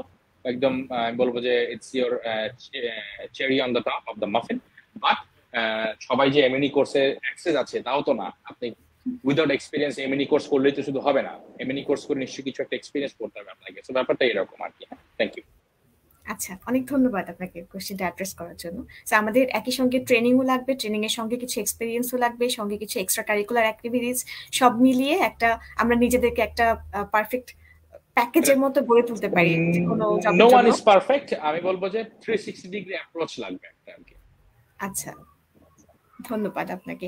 আমরা আমাদের অনুষ্ঠানের এক ঘণ্টার সময়ের অনেক আগেই পার করে গেছি। আমরা হচ্ছে মনে হচ্ছে যে কথা বলে আসলে শেষ হবে না কিন্তু আমাদেরকে আসলে শেষ করতে হবে। আমি দুঃখিত আমি অনেক বড় বড় অ্যানসার দিয়েছি যে এবং এটা খুবই ভালো হয়েছে। আমার মনে হয় যেটা আপনি নিজেও আসলে আপনার এই বড় বড় আনসারের মাধ্যমে ডেমনস্ট্রেট করেছেন যে কমিউনিকেশন স্কিলটা আসলে কেমন হওয়া উচিত এবং সেটা সেটা প্র্যাকটিক্যাল অ্যাপ্লিকেশনটা আসলে কীরকম হওয়া উচিত। আমার এটা মনে হয়েছে যে সমস্ত প্রয়োজনীয় তথ্য সঙ্গে আপনার নিজের এক্সপিরিয়েন্স আপনার পার্সোনাল স্টোরিজ এগুলো অনেক গুরুত্বপূর্ণ। আমার মনে হয় সেটা থেকেও আমাদের শিক্ষার্থীরা অনেক অনেক কিছু পাবে দিক নির্দেশনা। এখন আমাদের অনুষ্ঠানটা শেষ করতে হবে। আমি আপনার কাছে প্রথমেই বিদায় নিয়ে নিচ্ছি। আপনাকে অত্যন্ত ধন্যবাদ জানিয়ে আপনি আমাদেরকে সময় দিয়েছেন এতক্ষণ ধরে সময় দিয়েছেন এবং এত সুন্দর করে সবকিছু বলেছেন। আপনার স্পেশালি আমি একটা কমেন্ট করতে চাই আজকের প্রোগ্রাম নিয়ে যে আপনি যে ফ্র্যাঙ্কলি যে সবকিছু শেয়ার করেছেন না আমার মনে হয় যে এটা স্টুডেন্টরা আরও বেশি রিলেটেবল ফিল করবে যে তারা তাদের যে নিজেদের লাইফ থেকে। আমরা সবসময় অ্যাডভাইস দিতে গেলেই দেখা যায় খুব সিরিয়াস সিরিয়াস কিছু টার্মস ইউজ করছি। সিরিয়াসলি সবাইকে হচ্ছে উপদেশ দিচ্ছে। সেই জায়গা থেকে আমার মনে হয় যে আপনার পরামর্শগুলো শিক্ষার্থীদের খুবই কাজে লাগবে। আপনাকে অনেক ধন্যবাদ তোমাদের সঙ্গে ক্যারিয়ার কথা নিয়ে আসার জন্য। Thank you for having me সবাইকে ধন্যবাদ। আসলে আমাকে এখানে কথা বলার সুযোগ অনেক ধন্যবাদ। এরই সাথে আমি আজকের ক্যারিয়ার গঠনের যে ষষ্ঠ পর্ব এটা এখন আমাদেরকে শেষ করতে হবে। প্রতিবারই এমন হয় যে আমাদের প্ল্যান থাকে এক ঘণ্টার, কিন্তু আমরা কথা বলতে বলতে দেখা যায় যে অনেক কথাই চলে আসে প্রসঙ্গক্রমে এবং আপনাদের স্পন্টেনিয়াস উপস্থিতি সেটার সঙ্গে আপনাদের প্রাসঙ্গিক প্রশ্ন সবকিছু মিলিয়ে আমাদের অনুষ্ঠানগুলো সবসময় খুবই সমৃদ্ধ হয়ে থাকে। আপনাদের সবাইকে ধন্যবাদ আজকে যারা যারা আমাদের এই অনুষ্ঠানটি দেখেছেন। ধন্যবাদ জানাচ্ছি আমাদের অভিভাবক যিনি আজকে আমাদের শুভেচ্ছা বক্তা হিসেবে উপস্থিত ছিলেন, professor doctor Mohammad Ashik Mosaddek sir. আমি ধন্যবাদ জানাচ্ছি আজকের আমাদের অতিথি রুষ্টি আশিককে। ধন্যবাদ জানাচ্ছি আমাদের ইংরেজি বিভাগকে, ইংরেজি বিভাগের সাথে সংশ্লিষ্ট যারা যারা আজকে এই অনুষ্ঠানের সহায়তা করেছেন সবাইকে আমি ধন্যবাদ জানাতে চাই বরেন্দ্র বিশ্ববিদ্যালয়কে এই অনুষ্ঠানের আয়োজনের জন্য। কারণ আমি মনে করি যে এই অনুষ্ঠানটা আমাদের শিক্ষার্থীদের যে ভবিষ্যৎ পরিকল্পনা, সেখানে অনেকটাই ভূমিকা রাখতে পারে। আর একই সাথে শেষ করার সময় আমি স্মরণ করতে চাই আজকে পনেরোই আগস্টে যে শোকাবহ দিন, সেটা স্মরণ করে সম্মান জানিয়ে আমি আজকের ক্যারিয়ার কথাটি এখানে ক্যারিয়ার কথার এই পর্বটি আজকে এখানে শেষ করতে চাই। সবাই ভালো থাকবেন, সুস্থ থাকবেন। এই অস্থির পৃথিবীতে একটু হলেও শান্তির জন্য কিছু করার চেষ্টা করবেন। সবাইকে অনেক ধন্যবাদ। আসসালামু আলাইকুম।